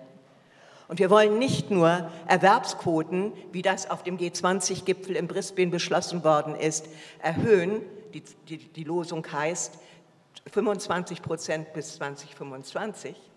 Wir wollen gute Arbeit Natürlich auch für Männer, aber erst recht für Frauen in diesen Umständen. Und ich denke, das ist der Auftrag für den G20-Gipfel, dass sie uns versprechen, dass die Frauen aus ihrer Ausgrenzung weltweit herauskommen und sie also tatsächlich decent work haben, wie das die internationale Arbeitsorganisation zu Recht in ihren Kampagnen gefordert hat. Und dazu zählen natürlich äh, die, die, digitale Inklusion, die finanzielle äh, Inklusion und die volle Integration in den Arbeitsmarkt. Aber das alleine reicht nicht. Und deswegen brauchen wir ein Konzept von Gender Economic Empowerment, das folgende Punkte umfasst. Höhere Erwerbs Frauenerwerbsquoten im formellen Sektor. Gute Arbeit, gleicher Lohn, gleiche Arbeitsbedingungen, gleiche Rentenansprüche. Menschenwürdige Arbeitsverhältnisse und existenzsichernder Lohn. Rentenausgleich, Bekämpfung von Frauenarmut, insbesondere der Frauenarmut von Alleinerziehenden, Reduzierung des informellen Sektors. Und das ist nicht nur ein afrikanisches Problem, sondern wir haben auch bei uns in Deutschland den, die höchste Prozentzahl an Frauen, die in prekären Beschäftigungsverhältnissen beschäftigt sind. Ich finde, das ist ein Skandal für diese reiche Bundesrepublik. Wir brauchen, wir brauchen äh, natürlich auch den, den gleichen Zugang von Frauen zu Führungspositionen, das ist vollkommen klar. Aber denken wir doch mal an jede Frau, an jede durchschnittliche Frau, die eben ein Auskommen mit ihrem Einkommen haben will. Das müssen wir in den Mittelpunkt auch unserer Anstrengungen äh, stellen. Genau wie die gute Sorgeinfrastruktur für Kinder und solche, die Pflege brauchen. Wir brauchen aber auch die gemeinsame Verantwortung von Männern und Frauen für die Erziehung und die Hausarbeit. Wir brauchen Gleichstellungspläne, sowohl in Politik und Wirtschaft, in der privaten Wirtschaft und im öffentlichen Dienst. Sie sind ein gutes Instrumentarium und Wege nach vorne zu tun.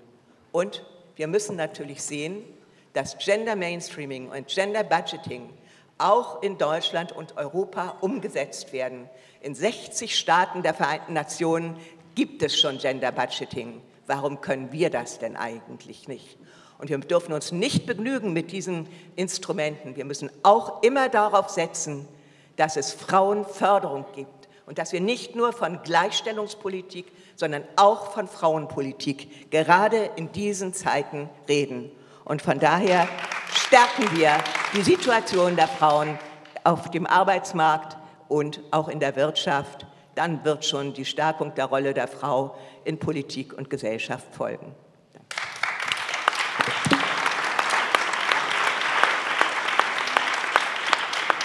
Ja, vielen Dank, Frau Ranzio-Plath, für das Aufzeigen doch schon sehr konkreter Maßnahmen, was gegen Geschlechterungleichheit, Ungerechtigkeit getan werden muss.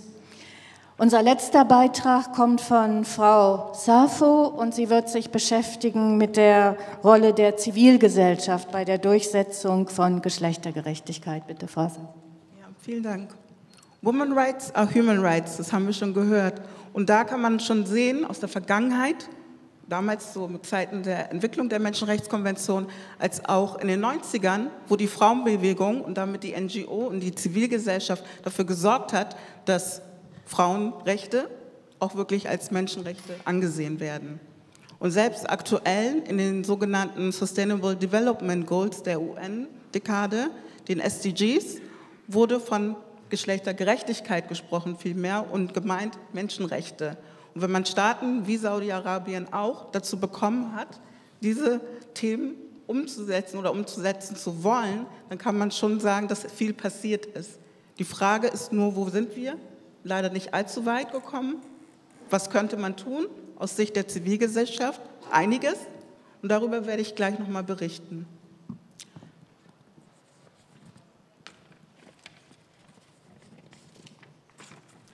Warum gibt es Probleme bei der Umsetzung? Es haben ja Staaten, über 175 Staaten meine ich, diese Konvention ja auch ratifiziert. Das ist der erste Schritt, dann müsste man das umsetzen, implementieren. Und dann ist es wirklich ein bisschen rar mit dem Erfolg, sogar auch in Deutschland als Vorzeigeland im Bereich Gender und Gerechtigkeit. Es fehlt oft der politische Wille. Es wird nicht mit Nachdruck gearbeitet und daher erhöhen NGOs durch ihre Art und Weise der Mobilisierung, des Activism, als auch der Öffentlichkeitsarbeit im Allgemeinen den Druck auf die Staaten. Wenn wir auf der Rechtsetzungsebene, das heißt dann, wenn die Gesetze oder die Konventionen und Verträge erst entwickelt werden, anfangen, haben sie immerhin ein Initiativrecht. Das heißt, sie können Ideen einbringen, sie können sogar die Öffentlichkeit so bewusst machen in Bezug auf Gerechtigkeit im Gender. Und ich finde im Übrigen das Wort auch besser als Frauenschutz oder Frauenrechte, weil es ja auch alle meint. Und das ist, finde ich, das, was man verstehen sollte, wenn man sagt, ein neues Denken ist gewollt, dass die Transformation, die durch die UN-Dekade erreicht werden soll, auch auf allen Ebenen stattfindet, in allen Gesellschaften und eben Männer, Frauen, Businesswelt als auch nicht ökonomische Menschen genauso umfasst. Das heißt, alle sollten den Prozess der Gleichheit von Gender berücksichtigen bei den einzelnen Maßnahmen. Wenn man auf die Zivilgesellschaft schaut, gerade aus dem Entwicklungssektor, kann man beobachten, dass sie dieses Ziel ja auch meistens inne haben. Wie erfolgreich sind sie denn selbst dabei, diese zu implementieren in ihren eigenen Organisationen? Das ist ein bisschen problematisch. Man kann das Ziel haben, man kann dafür Projekte beantragen und umsetzen. Wie steht es aber mit dem Gender Mainstreaming tatsächlich in der eigenen Organisation? Dann ist es auch so, dass nicht nur das schlecht umgesetzt wird oder schlecht gehandhabt wird, bei uns selbst auch, sondern natürlich auch bei den prekären Situationen, von denen wir auch schon gehört haben und wo das die Auswirkungen nachteilig sind, wo es von Diskriminierung, Benachteiligung von sogenannten ähm, Randgruppen, weil Frauen, obwohl sie inzwischen die Mehrheit der Bevölkerung oder der Welt ausmachen, von Minderheiten gesprochen werden. Genauso sind aber auch Schutzlose wie Geflüchtete, Frauen, die oftmals traumatisiert sind, auch ohne Schutz, auch hier vor Ort. Und natürlich die Migrantinnen, ähm, die oft, wie wir auch gehört haben, in prekären Situationen sind, von Handel in, bestimmten Milieus arbeiten müssen und ausgebeutet werden. Die NGOs machen das, indem sie ähm, diese Themen zur Agenda haben, indem sie politische Lobbyarbeit machen, indem sie hoffentlich die Bevölkerung so mobilisieren können durch gewisse Kampagnen, ähm, ihre Forderungen durchsetzen können. Und im Kontext von G20 kann ich nur einen Appell ausrufen und sagen, dass die Staats- und Regierungschefs, wenn sie schon zusammenkommen, auch mehr investieren, investieren mehr Investitionen geben, damit Frauen und Mädchen gefördert werden. Aber um das Vorherige nochmal einzubinden, was oft problematisch ist, auch in der NGO-Szene, finde ich selbst auch, dass Projekte die Zielgruppe Frauen und Mädchen haben, was gut ist und richtig ist, weil die gestärkt, empowered werden sollen. Aber es wird selbst außer Acht gelassen, wenn wir dieses sozial inklusive Denken uns ja bei anderen wünschen, dass wir es selbst gar nicht beachten. Warum müssen wir Frauen in ein Boot holen? Ja, weil sie in vielen Ländern des globalen Südens die Treiber für Entwicklung sind. Das heißt, das sind die, die echt hart arbeiten müssen, die auch von sich aus keine Chance haben, weil sie überleben müssen und für ihre Kinder sorgen sollten. Aber wir selbst vergessen bei diesen Projekten, Männer in den Fokus zu holen. Und ich bin eher froh, dass hier auch Männer, junge Menschen auch vertreten sind, die sich für diese Themen interessieren. Nicht, weil es ein Frauenthema ist, sondern weil es ein Gerechtigkeitsthema ist.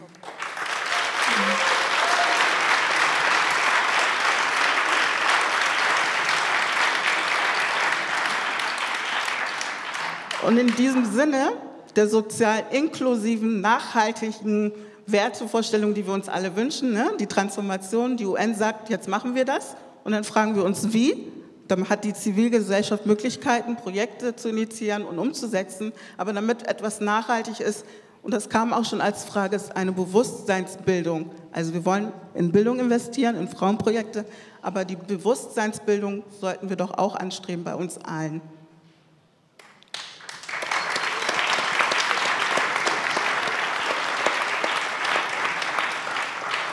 Ja, vielen Dank, Frau Safo, zur Rolle der Zivilgesellschaft bei der Durchsetzung von Geschlechtergerechtigkeit. Jetzt haben wir wieder die Möglichkeit, einige Fragen zu diskutieren. Und äh, hier sind auch schon einige gelandet. Ich fange mal an. Und zwar lautet die Frage, ein globales, bedingungsloses Grundeinkommen. Was kann das für Frauen in Deutschland und anderen äh, Ländern bedeuten? Wer fühlt sich angesprochen? Also die Fragen können auch jetzt an das gesamte Podium gehen. Ähm, das ist ja in diesen Zusammenhängen kommt das Thema ja immer wieder und ich glaube, das ähm, ist etwas, wozu man eigentlich ein gesonderte, auch da wieder ein gesondertes Podium so machen müsste. Ähm, aber ein Aspekt, den ich zumindest äh, zum Nachdenken in die Runde geben will. Pauschale Lösungen sind quasi das Gießkannenprinzip für alle. Das klingt erstmal verlockend. Aber worüber nachzudenken ist, ist, hilft das wirklich denjenigen in ihren jeweils unterschiedlichen und sehr individuellen Lebenslagen. Ähm, es ist schon noch mal drüber nachzudenken. Also gerade, also für uns, wir sind drüber gestolpert, wenn die Arbeitgeber diejenigen sind, die sagen, das Grundeinkommen ist eine total tolle Idee finde ich, ist das ein guter Grund, mal skeptisch zu sein. Und genau hinzugucken, was haben die da eigentlich auf dem Plan? Und das Problem ist, dass wir nämlich auf der einen Seite dann die Arbeitgeber aus ihrer sozialen Verantwortung entlassen und gleichzeitig haben wir, glaube ich, tatsächlich nicht mehr soziale Gerechtigkeit. Ähm, weil was machen wir mit den Leuten? Wir haben ein einziges Grundeinkommen. Das gilt für, einen, für jemanden, der alleinstehend ist, genauso wie, eine, wie für eine Familie mit zwei Kindern. Ist das dann wirklich noch das Genau, jede, ja, jeder, jeder bekommt es und jedes Kind. Aber wir müssen uns tatsächlich, glaube ich, und deswegen meine ich, das ist ein gesondertes, tatsächlich ein gesondertes Symposium mal wert, ähm, das genau auseinanderzuklamüsern, wem bringt das was, wo, an welchen Stellen und ist das wirklich eine gerechte Angelegenheit. Ähm, ich glaube, dass es sinnvoll ist, ja, ich weiß, es gibt da ganz viele gute Argumente und überzeugende. Wir haben jetzt jede Menge Praxisbeispiele mit ähm, Ländern, die das ausprobieren. Und ich glaube, das muss man sich tatsächlich angucken. Ich finde das sehr schwierig zum jetzigen Zeitpunkt, ohne diese Probevarianten, ähm, das wirklich sorgfältig zu beurteilen und erstmal zu sagen, das ist auf jeden Fall toll, weil es gibt da eine Menge gute Gründe, genau hinzugucken und zumindest auch mal kritisch hinzugucken. Das, fände ich, wäre der richtige Weg. Ja, danke. Äh, wir werden das Thema im Auge behalten. Ähm, jetzt ist hier eine weitere Frage. Glauben Sie, dass eine 50-Prozent-Quote die Lösung ist? Ich denke, dass hauptsächlich mehr Bildung, dass wir hauptsächlich mehr Bildung und Problembewusstsein benötigen. Affirmative Action in den USA war auch nicht wirklich erfolgreich. Diese Frage geht an Frau Kreischer und an auch alle anderen auf dem Podium. Also wenn die Forderung ist 50 Prozent für die Frauen, heißt es ja nicht, ähm, dass da keine weiteren Forderungen ist. Bei den 50 Prozent Frauen gibt es erstmal uns in die Lage zu versetzen, mitentscheiden zu können in politischen Gremien. Das bedeutet ja nicht, ähm, dass wir jetzt nichts für die Bildung tun. Also die Frage, wir, können, wir müssen, die Forderung ist nicht, wir machen das eine und, und, und lassen das andere. Ich weiß nicht, war das das, was Sie hören wollten? Also ich halte die paritätische Beteiligung wirklich für wichtig. Wir haben im Augenblick auch in Deutschland eine Klage vor dem Bayerischen Verfassungsgericht und wir haben also auch bei den UN-Staaten durchaus Staaten, äh, die 50 Prozent Quoten sozusagen haben. Aber eins möchte ich sagen, die Quote ist nur ein Instrument, sie ist kein Ziel. Wir wollen Geschlechtergerechtigkeit durchsetzen und dazu brauchen wir viel mehr als Quoten. Und äh, das finde ich, das sollte man auch wirklich dabei betonen.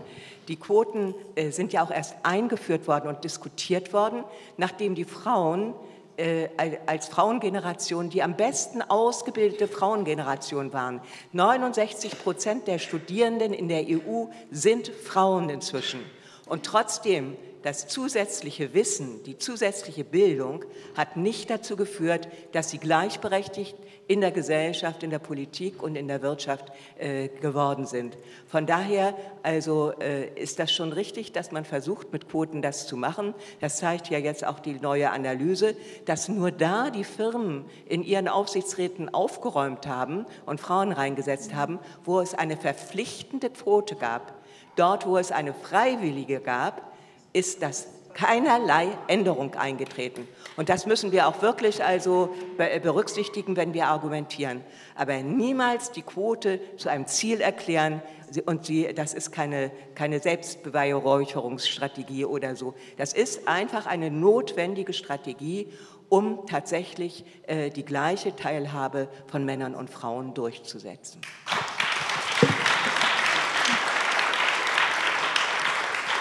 Ja, ich meine auch, dass es kein Allheilmittel ist, aber eine Methode, um dieser Ungerechtigkeit, wenn wir jetzt sagen, in den SDGs Goals Nummer 5 ist es Reducing Inequalities, Gendergerechtigkeit in dem Bezug. Ähm, wir sind ja von einer Situation, wo eher eine Hinderung, eine Hemmung von Minderheiten, Frauen in dem Fall, existiert. Das heißt, um diese Barriere erstmal überwinden zu können, um auf gleiche Augenhöhe zu kommen, braucht man diesen Push. Und ob das eine Quote ist, finde ich okay. Das heißt nicht, dass der Beste da landet, aber es landet immerhin jemand dort, der sonst nicht da wäre. Und von daher ist es legitim. Danke. Ähm, eine weitere Frage, die da vielleicht ganz gut anschließt. Wie könnte man es schaffen, dass Geschlechtergerechtigkeit stärker als soziale Frage begriffen wird und nicht nur als Angelegenheit von Frauen? Gute Frage, nächste Frage. Ich glaube, ähm, also mit sozial passt nicht ganz das in dem Zusammenhang. Es ist uns ja bis dato aus irgendwelchen Gründen nicht gelungen, rüberzubringen an, den, an die männliche Bevölkerung, welche Vorteile es hat für sie, wenn Gleichberechtigung da ist. Und ich glaube, da müssen wir auch verstärkt ansetzen. Frau Kager hat es gesagt, wir sind junge Männer hier, wir leben es halt ihr auch. Es werden zunehmend Männer sehen auch die Vorteile, wenn sie sich aus ihren männlichen Rollen lösen können. Ich denke nicht umsonst, wenn wir uns angucken, ich habe ja vorhin so ein paar Highlights aus den Regierungen aufgezählt. Es sind erstaunlicherweise Jungmänner, der Mann aus Kanada, der aus Frankreich, ähm, die sehr selbstverständlich und selbstbewusst vorangehen, um uns Frauen die Tür zu öffnen. Es sind leider mehr die älteren Männer, die nach wie vor Probleme haben mit der Gleichberechtigung. Wenn es uns gelingt, aufzuzeigen, was diese Welt für uns bedeutet, nämlich dass 50 Prozent mitgenommen werden. Ich glaube, dann wird es auch selbstverständlich und wir werden mehr Menschen finden, die mitmachen. Aber und mir würde es schon mal genügen, wenn wir erstmal 50 Prozent der Menschheit davon überzeugen können, wie wichtig ist äh, Geschlechtergerechtigkeit. Das wäre schon auch ein Anfang. Sind ja nicht alle äh, Seite an Seite zurzeit mit uns unterwegs. Es gibt ja den schönen Spruch, ähm, den Männern die Hälfte der Erde und den Frauen die Hälfte des Himmels. Und wir haben das dann auf, der Weltfrauenkonf auf den Weltfrauenkonferenzen immer umgedreht und haben gesagt, äh, den Frauen die Hälfte der Erde und den Männern die Hälfte des Himmels. Sie wissen gar nicht, wie schön es da sein kann. Und ähm, es ist wirklich in den Diskussionen mit Männern sehr häufig so gewesen, dass sie das einfach die Schönheit nicht gesehen haben und es nicht eingesehen haben, dass etwas läuft. Ich habe immer die Hoffnung in in, äh, in, in, Leitfiguren in Politik und Wirtschaft, äh, dass sie sehen, dass sie Töchter haben und dass sie nicht möchten, dass ihren Töchtern das so schlecht geht wie den Frauen, die sie heute schlecht behandeln. Und das äh, wäre vielleicht also auch ein Weg, aber wir können ja nicht äh, das in irgendeiner Weise gestalten. Insofern müssen wir uns schon auch auf Überzeugung und politische Bildung, finde ich, also verlassen können. Und hier sind für mich die skandinavischen Staaten doch schon Vorbilder denn sie haben immer den Weg sind den Weg gegangen, nicht nur der öffentlichen Infrastruktur, die allen Menschen gut geholfen hat, sondern sie haben auch also ein Menschenbild, dass sie sagen, sie, Männer und Frauen gehen Seite an Seite, gemeinschaftlich.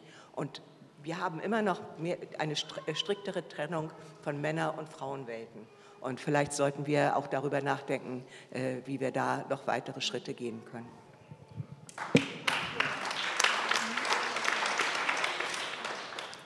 Ich meine, dass man auf die Kompetenzen schauen sollte. Wenn man Allianzen bildet, dann schaut man ja eher auf der, wenn man so Stakeholder-Analyse macht, wer hat welche Kompetenzen und am besten baut man sich ein Team auf, was nicht die gleichen, sondern andere Kompetenzen hat. Ob es nun eine Frau ist oder jemand, der anderer ab, kultureller Abstammung ist. Inzwischen wird das gelebt, das ist Realität, dass Diversity Potenziale mitbringt und Fähigkeiten, die man sonst nicht inne hätte. Und wenn wir etwas nachhaltig wollen, nachhaltig heißt, heißt dann langfristig, sollte man alle mitnehmen und alle mitnehmen wollen, damit man auch bei dem Ziel 16 Frieden ne, eine Gesellschaft hat, die zusammen friedlich leben kann und die besteht ja aus allen Teilen.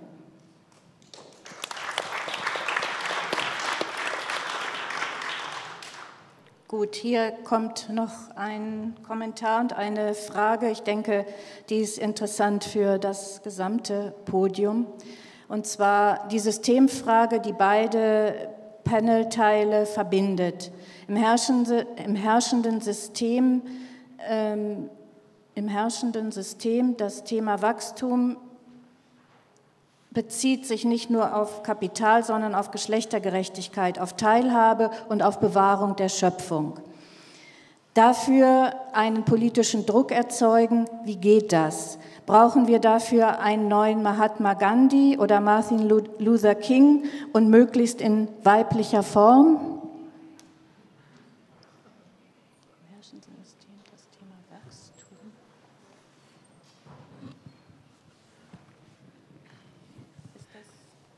Yes, we can, würde ich sagen. Aber es dauert. Das ist das Problem. Und äh, von den unterschiedlichen Engagement Groups in den vergangenen Jahren, in den vergangenen Monaten an die Bundesregierung als Präsidentschaft sind auch immer wieder die Forderungen gestellt worden, äh, dass dieses, dass äh, verbunden werden muss, die Frage der Gerechtigkeit und die Frage der nachhaltigen Entwicklung auf dem Planeten Erde mit dem Thema äh, Transformation des Wirtschaftssystems. Und das heißt, das kann nicht nur in einem Adjektiv bestehen, dass man also von inklusivem Wachstum spricht oder von Pro-Groß-Wachstum spricht. Es muss wirklich also eine Umkehr geben. Das, geht, das wird nicht anders funktionieren. Nur äh, sind die revolutionären Verhältnisse in den G20-Staaten nicht dafür geschaffen.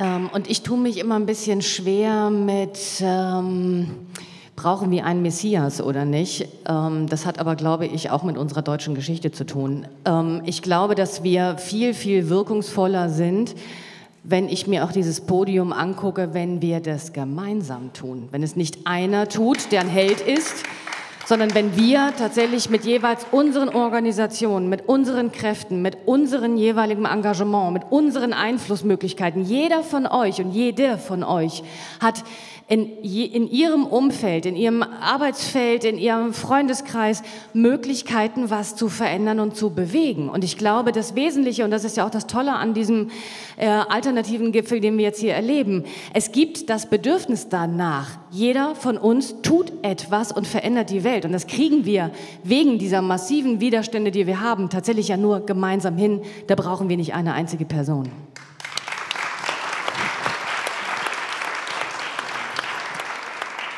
Ich würde sagen, wir brauchen keine Person in Gestalt, aber wir brauchen Ideen. Und ohne Ideen kriege ich auch die Masse oder die Bevölkerung, die Interessierten nicht mitgenommen. Das heißt, wir brauchen neue Ideen, die hoffentlich durch das neue Denken entstehen. Agnes.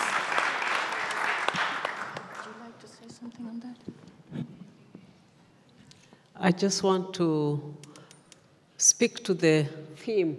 This is an alternative summit, meaning there are alternatives to the dominant thinking, practice, and theory.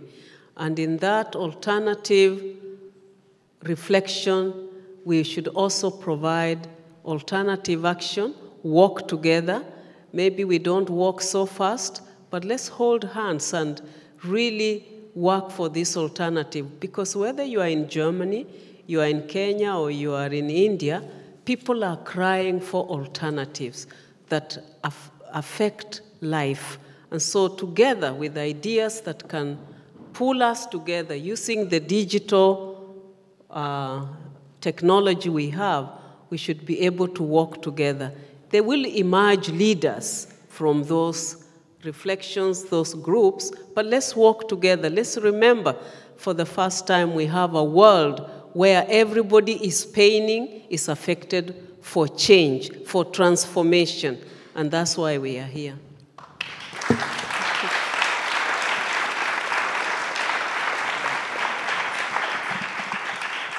Ich wollte das nochmal von Frau Kager unterstützen. Ich denke, dass wir hier heute sitzen und ein ähm, Podium zum Thema Geschlechtergerechtigkeit machen. Das ist erstmalig und es ist auch der Anfang, in den richtigen Weg zu gehen. Ähm, ich war gestern mal unterwegs gewesen, habe geguckt, was draußen so ausliegt. Da war bis auf einen Stand war äh, nicht das Thema Gendergerechtigkeit, aber wenn W20 sich jetzt durchsetzt und wir anerkannt haben, dass wir auch eine eigene Peer Group und Pressure Group kriegen und wir uns dann stärker vernetzen, also wir, sehen ja hier die Repräsentanten, ich glaube, das ist genau der richtige Weg, den wir gehen müssen. Und mitnehmen, dieses wieder Erstarken der Frauenbewegung und auch erkennen, wir kriegen nichts geschenkt. Wir müssen aufpassen, dass wir Bewahrtes erhalten, damit wir weiterkommen können. Ich bin aus das Gründen noch immer irgendwie positiv gestimmt diesbezüglich. Danke.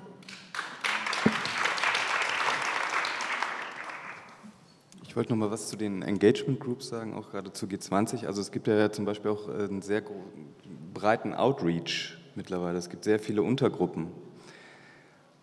Und diese Untergruppen, die Tatsache, also es gibt die Business 20, es gibt die Labor 20, es gibt die Youth 20, es gibt die Civil 20, es gibt die Women 20. Und ich frage mich immer, ist das gut oder ist das weniger gut? Ich finde es einerseits, ich finde es einerseits gut, dass es, dass es äh, eine bestimmte Interessensgruppe gibt, die äh, insbesondere auch für Frauenrechte einsteht. Ich habe nur manchmal das Gefühl, dass zum Beispiel, wenn wir über Civil 20 sprechen, dass das dann irgendwie so, so separiert ist, dass ich dann das Gefühl habe, das ist, das ist etwas, was separat ist und was jetzt eigentlich gar nicht so, so eine Rolle spielt bei anderen Themen. Und ich glaube, das ist was, was wir wirklich überkommen müssen und wo wir sehen müssen, dass wir diese, äh, dass wir die Thematik viel stärker tatsächlich auch in andere Gruppen reintragen, weil ich immer das Gefühl habe, das spielt da eigentlich eine untergeordnete Rolle und das, das ist ein Problem. Gefühl, das, ist das ist so, ja, das glaube ich auch. Und was mich eben nochmal bewegt hat, ist die Frage, wie kann man denn Männer dafür sensibilisieren? Also ähm, ich, ich, glaube sehr stark, dass das tatsächlich auch ähm, eine Generationenfrage ist. Also ich glaube schon, dass sich dass ich in, in, jüngeren Generationen da was tut oder, oder dass, auch, dass es auch einfach bestimmte Mechanismen gibt, äh, die, da, die zu, äh, zu, zu äh, Erfahrungen führen, die, die die Sichtweisen verändern. Ich glaube zum Beispiel die Tatsache, ähm, oder um nur ein Beispiel zu nennen, ich glaube sowas wie die Elternzeit, dass man sagt, man hat eine Elternzeit oder ich, man müsste das wahrscheinlich noch, und ich glaube, das ist zum Beispiel in, in, in skandinavischen Ländern viel stärker äh, nochmal noch mal ausgeprägt, dass es wirklich gleich ist. Ne? dass äh, wirklich Väter und, und Mütter eine gleiche Anzahl von, von äh, Betreuungszeit nehmen. Und das ist, glaube ich, ein richtiger Ansatz, weil das führt dazu, dass sich Dinge verändern oder dass sich auch Sichtweisen verändern, dass sich Rollenbilder verändern. Also ich habe selbst die Erfahrung gemacht. Oder beziehungsweise hatte selbst, äh, hatte, fand es selbst einfach gut, eine andere, eine andere Rolle zu haben oder, oder, oder diese Rolle wahrnehmen zu können. Und ich glaube, dass das, dass das aber bei vielen auch einfach über Anreize funktioniert. Und äh, einmal ist es, ist es glaube ich, die, die, diese, diese Möglichkeit, dann diese Erfahrung zu haben, auch tatsächlich durch, durch Vorgaben diese Erfahrung zu haben.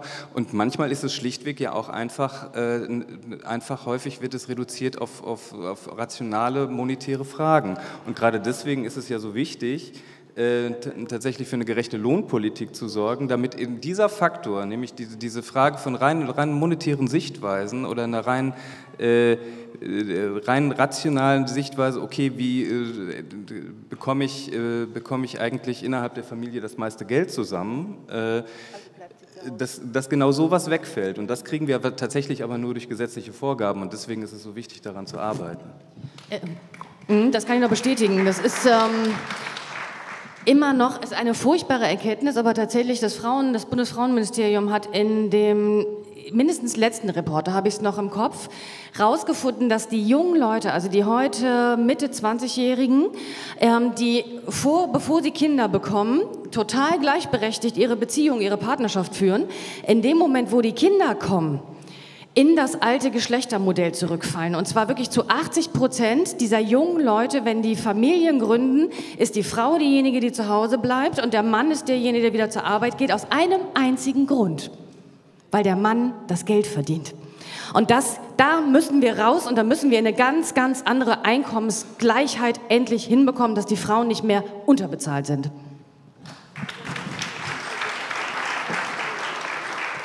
Dazu brauchen wir dann aber auch andere Arbeitsplätze für Frauen. Also das geht nicht so weiter, dass die Frauen konzentriert sind in den schlecht bewerteten Arbeitsplätzen und dass eben das Tragen von Steinen mehr wert ist als das Tragen von Menschen in Krankenhäusern oder Pflegestationen. Das ist die eine Sache. Also wir brauchen eine andere Bewertung von Arbeitsplätzen und wir brauchen auch also eine diversifizierte Berufswahl von Frauen. Auch das ist notwendig, dass also dass sich das Berufswahlverhalten von Frauen ändert. Wir haben überall innerhalb der Europäischen Union ein sogenanntes pinkes Ghetto.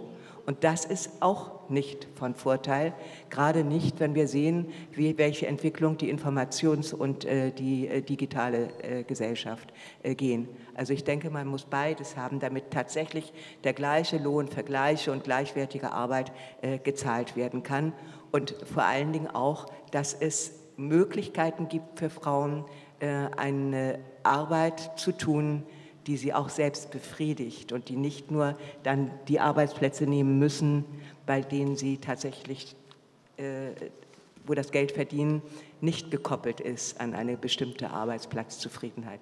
Es wird immer andere Arbeitsplätze geben, das ist mir auch völlig klar, aber wir sollten das wirklich anstreben und von daher äh, bedauere ich das, dass wir also auf der europäischen Ebene auch noch nicht weitergekommen sind.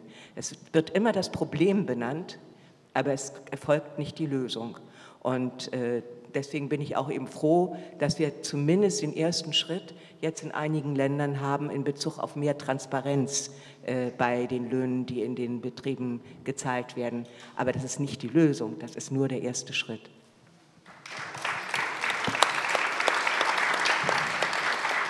Ja, ich habe hier noch einen äh, Kommentar und auch eine Frage, die glaub, der glaube ich oder die glaube ich sehr gut zu dem passt, was eben diskutiert wurde. Ich lese sie aber hier noch mal vor.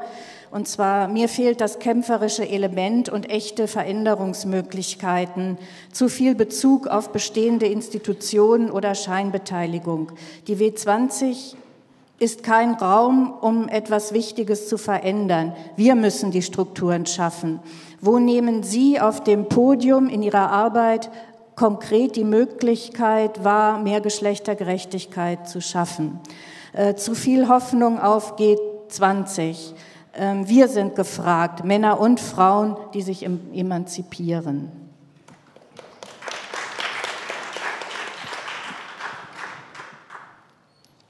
Stimmt. Ähm, wieso nicht? Also mit diesem W20, das ist jetzt nicht, das glaub, äh, dass ich glaube, das ist jetzt der Mega-Durchbruch. Aber es, wir müssen jede möglich, wir als Frauen müssen jede Möglichkeit wahrnehmen, die sich uns bietet. Und der G20 und der W20 ist eine Möglichkeit, dass in diesen Ländern Dinge vorangetrieben wird. Unbesehen davon ist, glaube ich, jede, die auf dem Podium sitzt und sicherlich auch dadurch, dass Sie hier sind, jede und jeder dabei, etwas zum Thema Gleichberechtigung, Geschlechtergerechtigkeit zu tun. In meiner früheren Funktion habe ich ganz gezielt äh, nur Frauen eingestellt, also gerade auch im Führungsbereich. Ähm, und habe versucht, die Beurteilungssysteme, alles, was damit zugehört, warum es Frauen unter Umständen schwieriger ist, voranzukommen, zu ändern. Also es gibt schon viele Möglichkeiten, dass jede, wenn sie das entsprechende Bewusstsein hat, in ihren Möglichkeiten was zu verändern.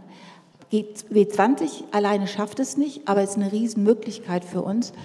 Und ich finde, bei den wenigen Möglichkeiten, die es uns bietet, ähm, sollten wir die wahrnehmen. Zum Thema kämpferisch. Also ich habe ganz klare Vorstellungen, was passiert, wenn wir mit G20 nicht weiterkommen. Das bedeutet viele auf die Straße. Das bedeutet ähm, eventuell über einen Frauenstreiktag nachzudenken. Oder wir müssen nachdenken, wenn die etablierten Parteien uns nicht weiterhelfen, ist jetzt der Zeitpunkt gekommen, eine Frauenpartei zu gründen. Also da gibt es eine Menge Möglichkeiten, was Frau lostreten kann. Ich denke, dass wir alle hier engagiert sind und in äh, NGOs tätig sind. Und das ist schon mal ein wichtiger Schritt. Wir, soll, wir, sind aber auch viele, die in Gewerkschaften tätig sind oder in politischen Parteien. Man muss jede, jedes Gremium, jede Organisationsstruktur nutzen, um etwas äh, voranzubringen für die Gleichstellung von Männern und Frauen. Ich habe, als ich äh, hier in Hamburg Vorsitzende von den sozialdemokratischen Frauen war, immer auf die Vereinbarkeit von Beruf und Familie gesetzt. Und ich habe immer auf die kostenlose Kinderbetreuung gesetzt. Und das hat 30 Jahre gedauert, bis das in Hamburg umgesetzt worden ist. Also, und das ist nur des, deswegen auch passiert, weil immer wieder das gefordert worden ist. Und das muss ich sagen, ist also wirklich absolut quälend. Aber äh, es geht nicht anders ohne Hartnäckigkeit. Äh, wir müssen bei den Themen bleiben und dann kann man auch also versuchen, etwas zu erreichen. Und ich denke, wir haben zu oft als Frauenbewegung diejenigen im Bundestag oder so kritisiert, äh, die kleine Schritte gehen wollten, weil wir wollten immer das große Ganze. Und jetzt sehen wir doch, dass wir mit der Quotierung in äh, den Unternehmensaufsichtsräten ein kleines wenig Umdenken geschafft haben. Und jetzt geht es weiter mit dem zweiten Schritt, dass also eine viel größere Zahl von Betrieben äh, das umsetzen muss. Und dann geht es von den Aufsichtsräten zu den Vorständen. Das muss so der Weg sein. Aber für mich ist eben, wie gesagt, das Wichtigste dieser gleiche Lohn für gleich äh, und gleichwertige Arbeit und menschenwürdige Frau, äh, Arbeit für Frauen und existenzsicherndes Einkommen für Frauen. Das sind für mich die wichtigsten Forderungen, für die wir eintreten müssen. Und das ist vollkommen unabhängig von G20. Wir müssen auch auf unsere eigenen nationalen Regierungen Einfluss nehmen. Äh, und wir müssen sehen, dass wir uns solidarisieren, die Frauengruppen, äh, die Gewerkschaften, die Frauen in den Parlamenten. Das ist eben etwas, was heute nicht mehr so gut funktioniert. Es gab früher bessere äh, Netzwerke zwischen den Frauen, die in den Parlamenten waren und die außerhalb der Parlamente waren. Vielleicht braucht das eine Neuauflage. Ja, vielen Dank. Ich habe hier noch eine Frage, die ist etwas anders äh, und äh, bezieht sich auch auf ein äh, anderes wichtiges Thema, das hier am Alternativgipfel behandelt wird, aber auch für die G20 auf der Agenda steht. Und zwar, welche Verbindungslinien sehen Sie zwischen Klimagerechtigkeit und Geschlechtergerechtigkeit?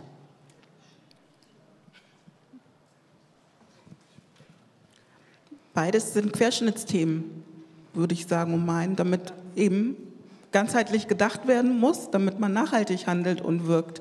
Das heißt, es muss in diesem Kreislauf das wahrgenommen werden, dass das eine ohne das andere nicht funktioniert, insbesondere wenn wir in die Länder des globalen Südens schauen. Wir haben gleichzeitig Äthiopien, eines des schnellsten wachsenden ökonomischen Staaten in Afrika. Gleichzeitig haben wir im östlichen Teil Dürre und ähm, nicht verwertbarem Boden, was die Agrarwirtschaft angeht. Andererseits gibt es Landgrabbing auch von EU. Ähm, ähm, und Konzernen, die dann in Äthiopien ja auch wieder gerade fehlende Biodiversität ähm, durchführen. Ich habe jetzt einen großen Bogen gezogen, aber ich wollte sagen, dass wir dann tatsächlich mit Vertreibung dann zu tun haben, mit Menschen, die dann auswandern müssen, erzwungenermaßen, die dann vielleicht ähm, junge Männer meistens betreffen. Das heißt, es bleiben nur Frauen und junge Mädchen in gewissen Dörfern, die dann wiederum die einzigen sind, die die Stabilität der Gesellschaft bedeuten. Ja? Also hat man keine andere Wahl, wenn man von nachhaltiger Entwicklung sprechen möchte in diesen Staaten, diese Frauen und Mädchen als Treiberin zu sehen und wahrzunehmen. Und dann gibt es ja konkrete Programme wie ähm, Economic Empowerment Programme, äh, Kompetenz- oder Leadership-Programme, ähm, damit sie die Fähigkeiten und ähm, Fertigkeiten erlernen, eben größere Wirtschaften aufzubauen. Wenn wir jetzt nach Hamburg gucken, Abgesehen davon, dass wir auch hier die soziale Schere, haben wir ja auch schon gehört, so weit auseinanderklappt, dass wir ähm, Frauen so benachteiligt sind, sind wir in einem Gebiet der Elbe und damit ganz unmittelbar mit Hochwasserthemen verbunden. Spätestens dann sollte man denken, dass wir nicht so weit weg von Klimaproblemen sind. Ja. Danke. Möchte noch. Uh, she's mentioned about Ethiopia. I think I'd like to add just a couple of thoughts. One is that you can't have gender justice without climate justice because we see dysfunctional communities, dislocated communities uh, in terms of uh, community coherence. Uh, not just because men are moving out, it is the able men, it is the elderly, the women, the children who are left moving around in search of livelihoods. And many of them are affected by poor health as a result. The production, therefore, also goes down. So you really have dying communities.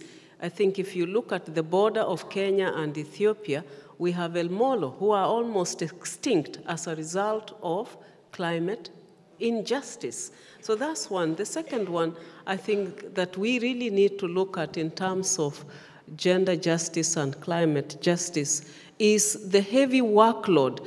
The colonization of Africa, for example, left the woman with extra chores that were actually male chores.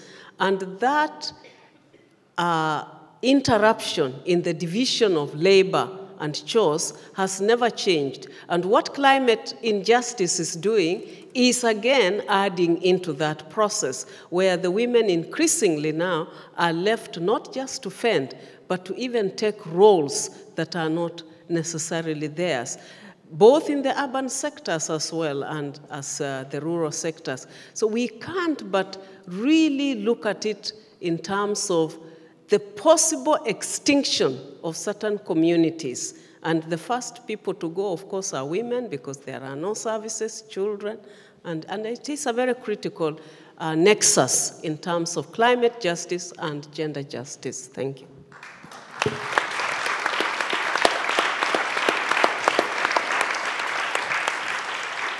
Gut, ich habe hier noch eine Frage, die sich nochmal mit der Reform äh, der G20 befasst und damit möchte ich dann auch äh, schließen. Hier äh, steht, Martin Schulz hat vor kurzem den guten Vorschlag gemacht, die G20 in den UN-Kontext in New York einzugliedern. Was meinen Sie? Ist das ein erster Schritt zur Reform der G20? Und könnte das ein erster konkreter Schritt sein von G20 und vielleicht UN, um gegen Ungleichheit und Geschlechtergerechtigkeit auch vorzugehen?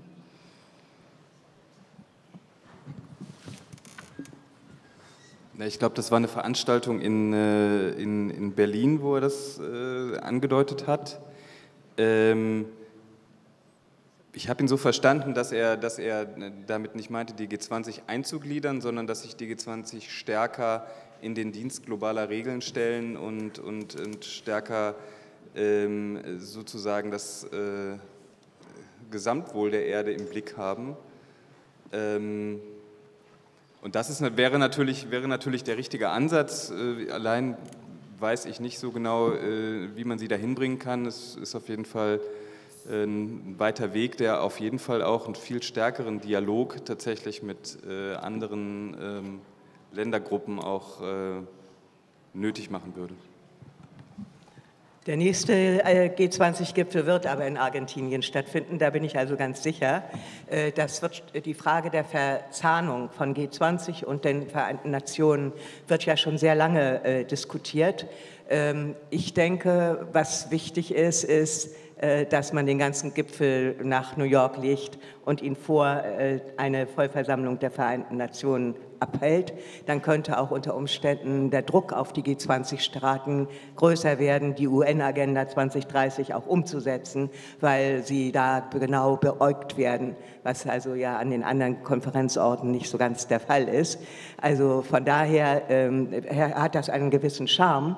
Aber ob damit äh, die Arbeit äh, und die Einstellung der G20-Staaten sich ändert und damit auch die Politik, das wage ich eigentlich zu bezweifeln, muss ich sagen. G20 ist ein äh, Format derjenigen, die Macht haben, und zwar ökonomische und politische Macht. Und äh, das, was wir also als Zivilgesellschaft immer einfordern, mit mehr Transparenz und Rechenschaftspflichtigkeit, ist ja auch nur in Ansätzen vorhanden, weil die Zivilgesellschaft kriegt zwar, äh, hat zwar Gespräche im Kanzleramt, ähm, aber wir kriegen nicht die Papiere, die verhandelt werden, mit. Wir stellen unsere Forderungen auf, die orientieren wir an den Themen der G20, aber das ist keine echte Partizipation der Zivilgesellschaft, wie wir sie verstehen würden. Und ob das bei einer Veränderung des Ortes sich verändern würde, das wage ich einfach zu bezweifeln, weil also die Staaten in ihren Regierungsformen so konzipiert sind, wie sie sind. Das muss dann, sagen wir mal, die eigene, das eigene, der eigene Staat, das eigene Staatsvolk muss es verändern, was die Regierungen an Formen des äh, Zusammenarbeitens tatsächlich auf den Weg bringen.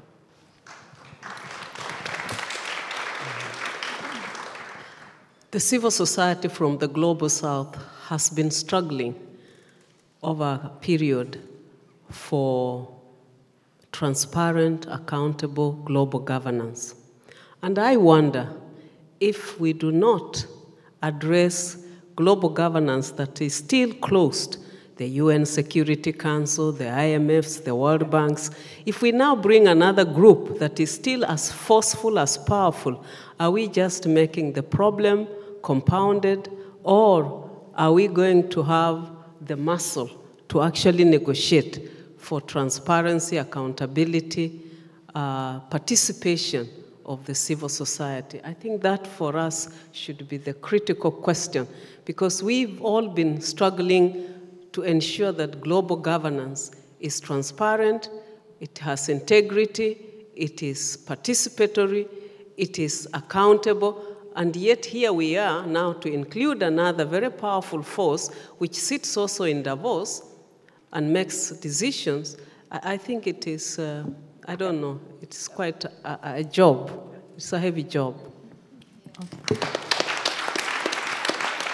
Ja, vielen Dank. Die G20 wird uns also weiter begleiten und beschäftigen und zivilgesellschaftliches Engagement ist weiter notwendig und gefragt. Hiermit möchte ich mich ganz herzlich bei den Panelistinnen bedanken. Ich denke, das war eine sehr interessante, vielseitige Diskussion, die unsere, unser Thema Gleichheit, Ungleichheit überwinden und Geschlechtergerechtigkeit durchsetzen aus vielen Perspektiven beleuchten konnte. Danke auch an euch und Sie ins Publikum.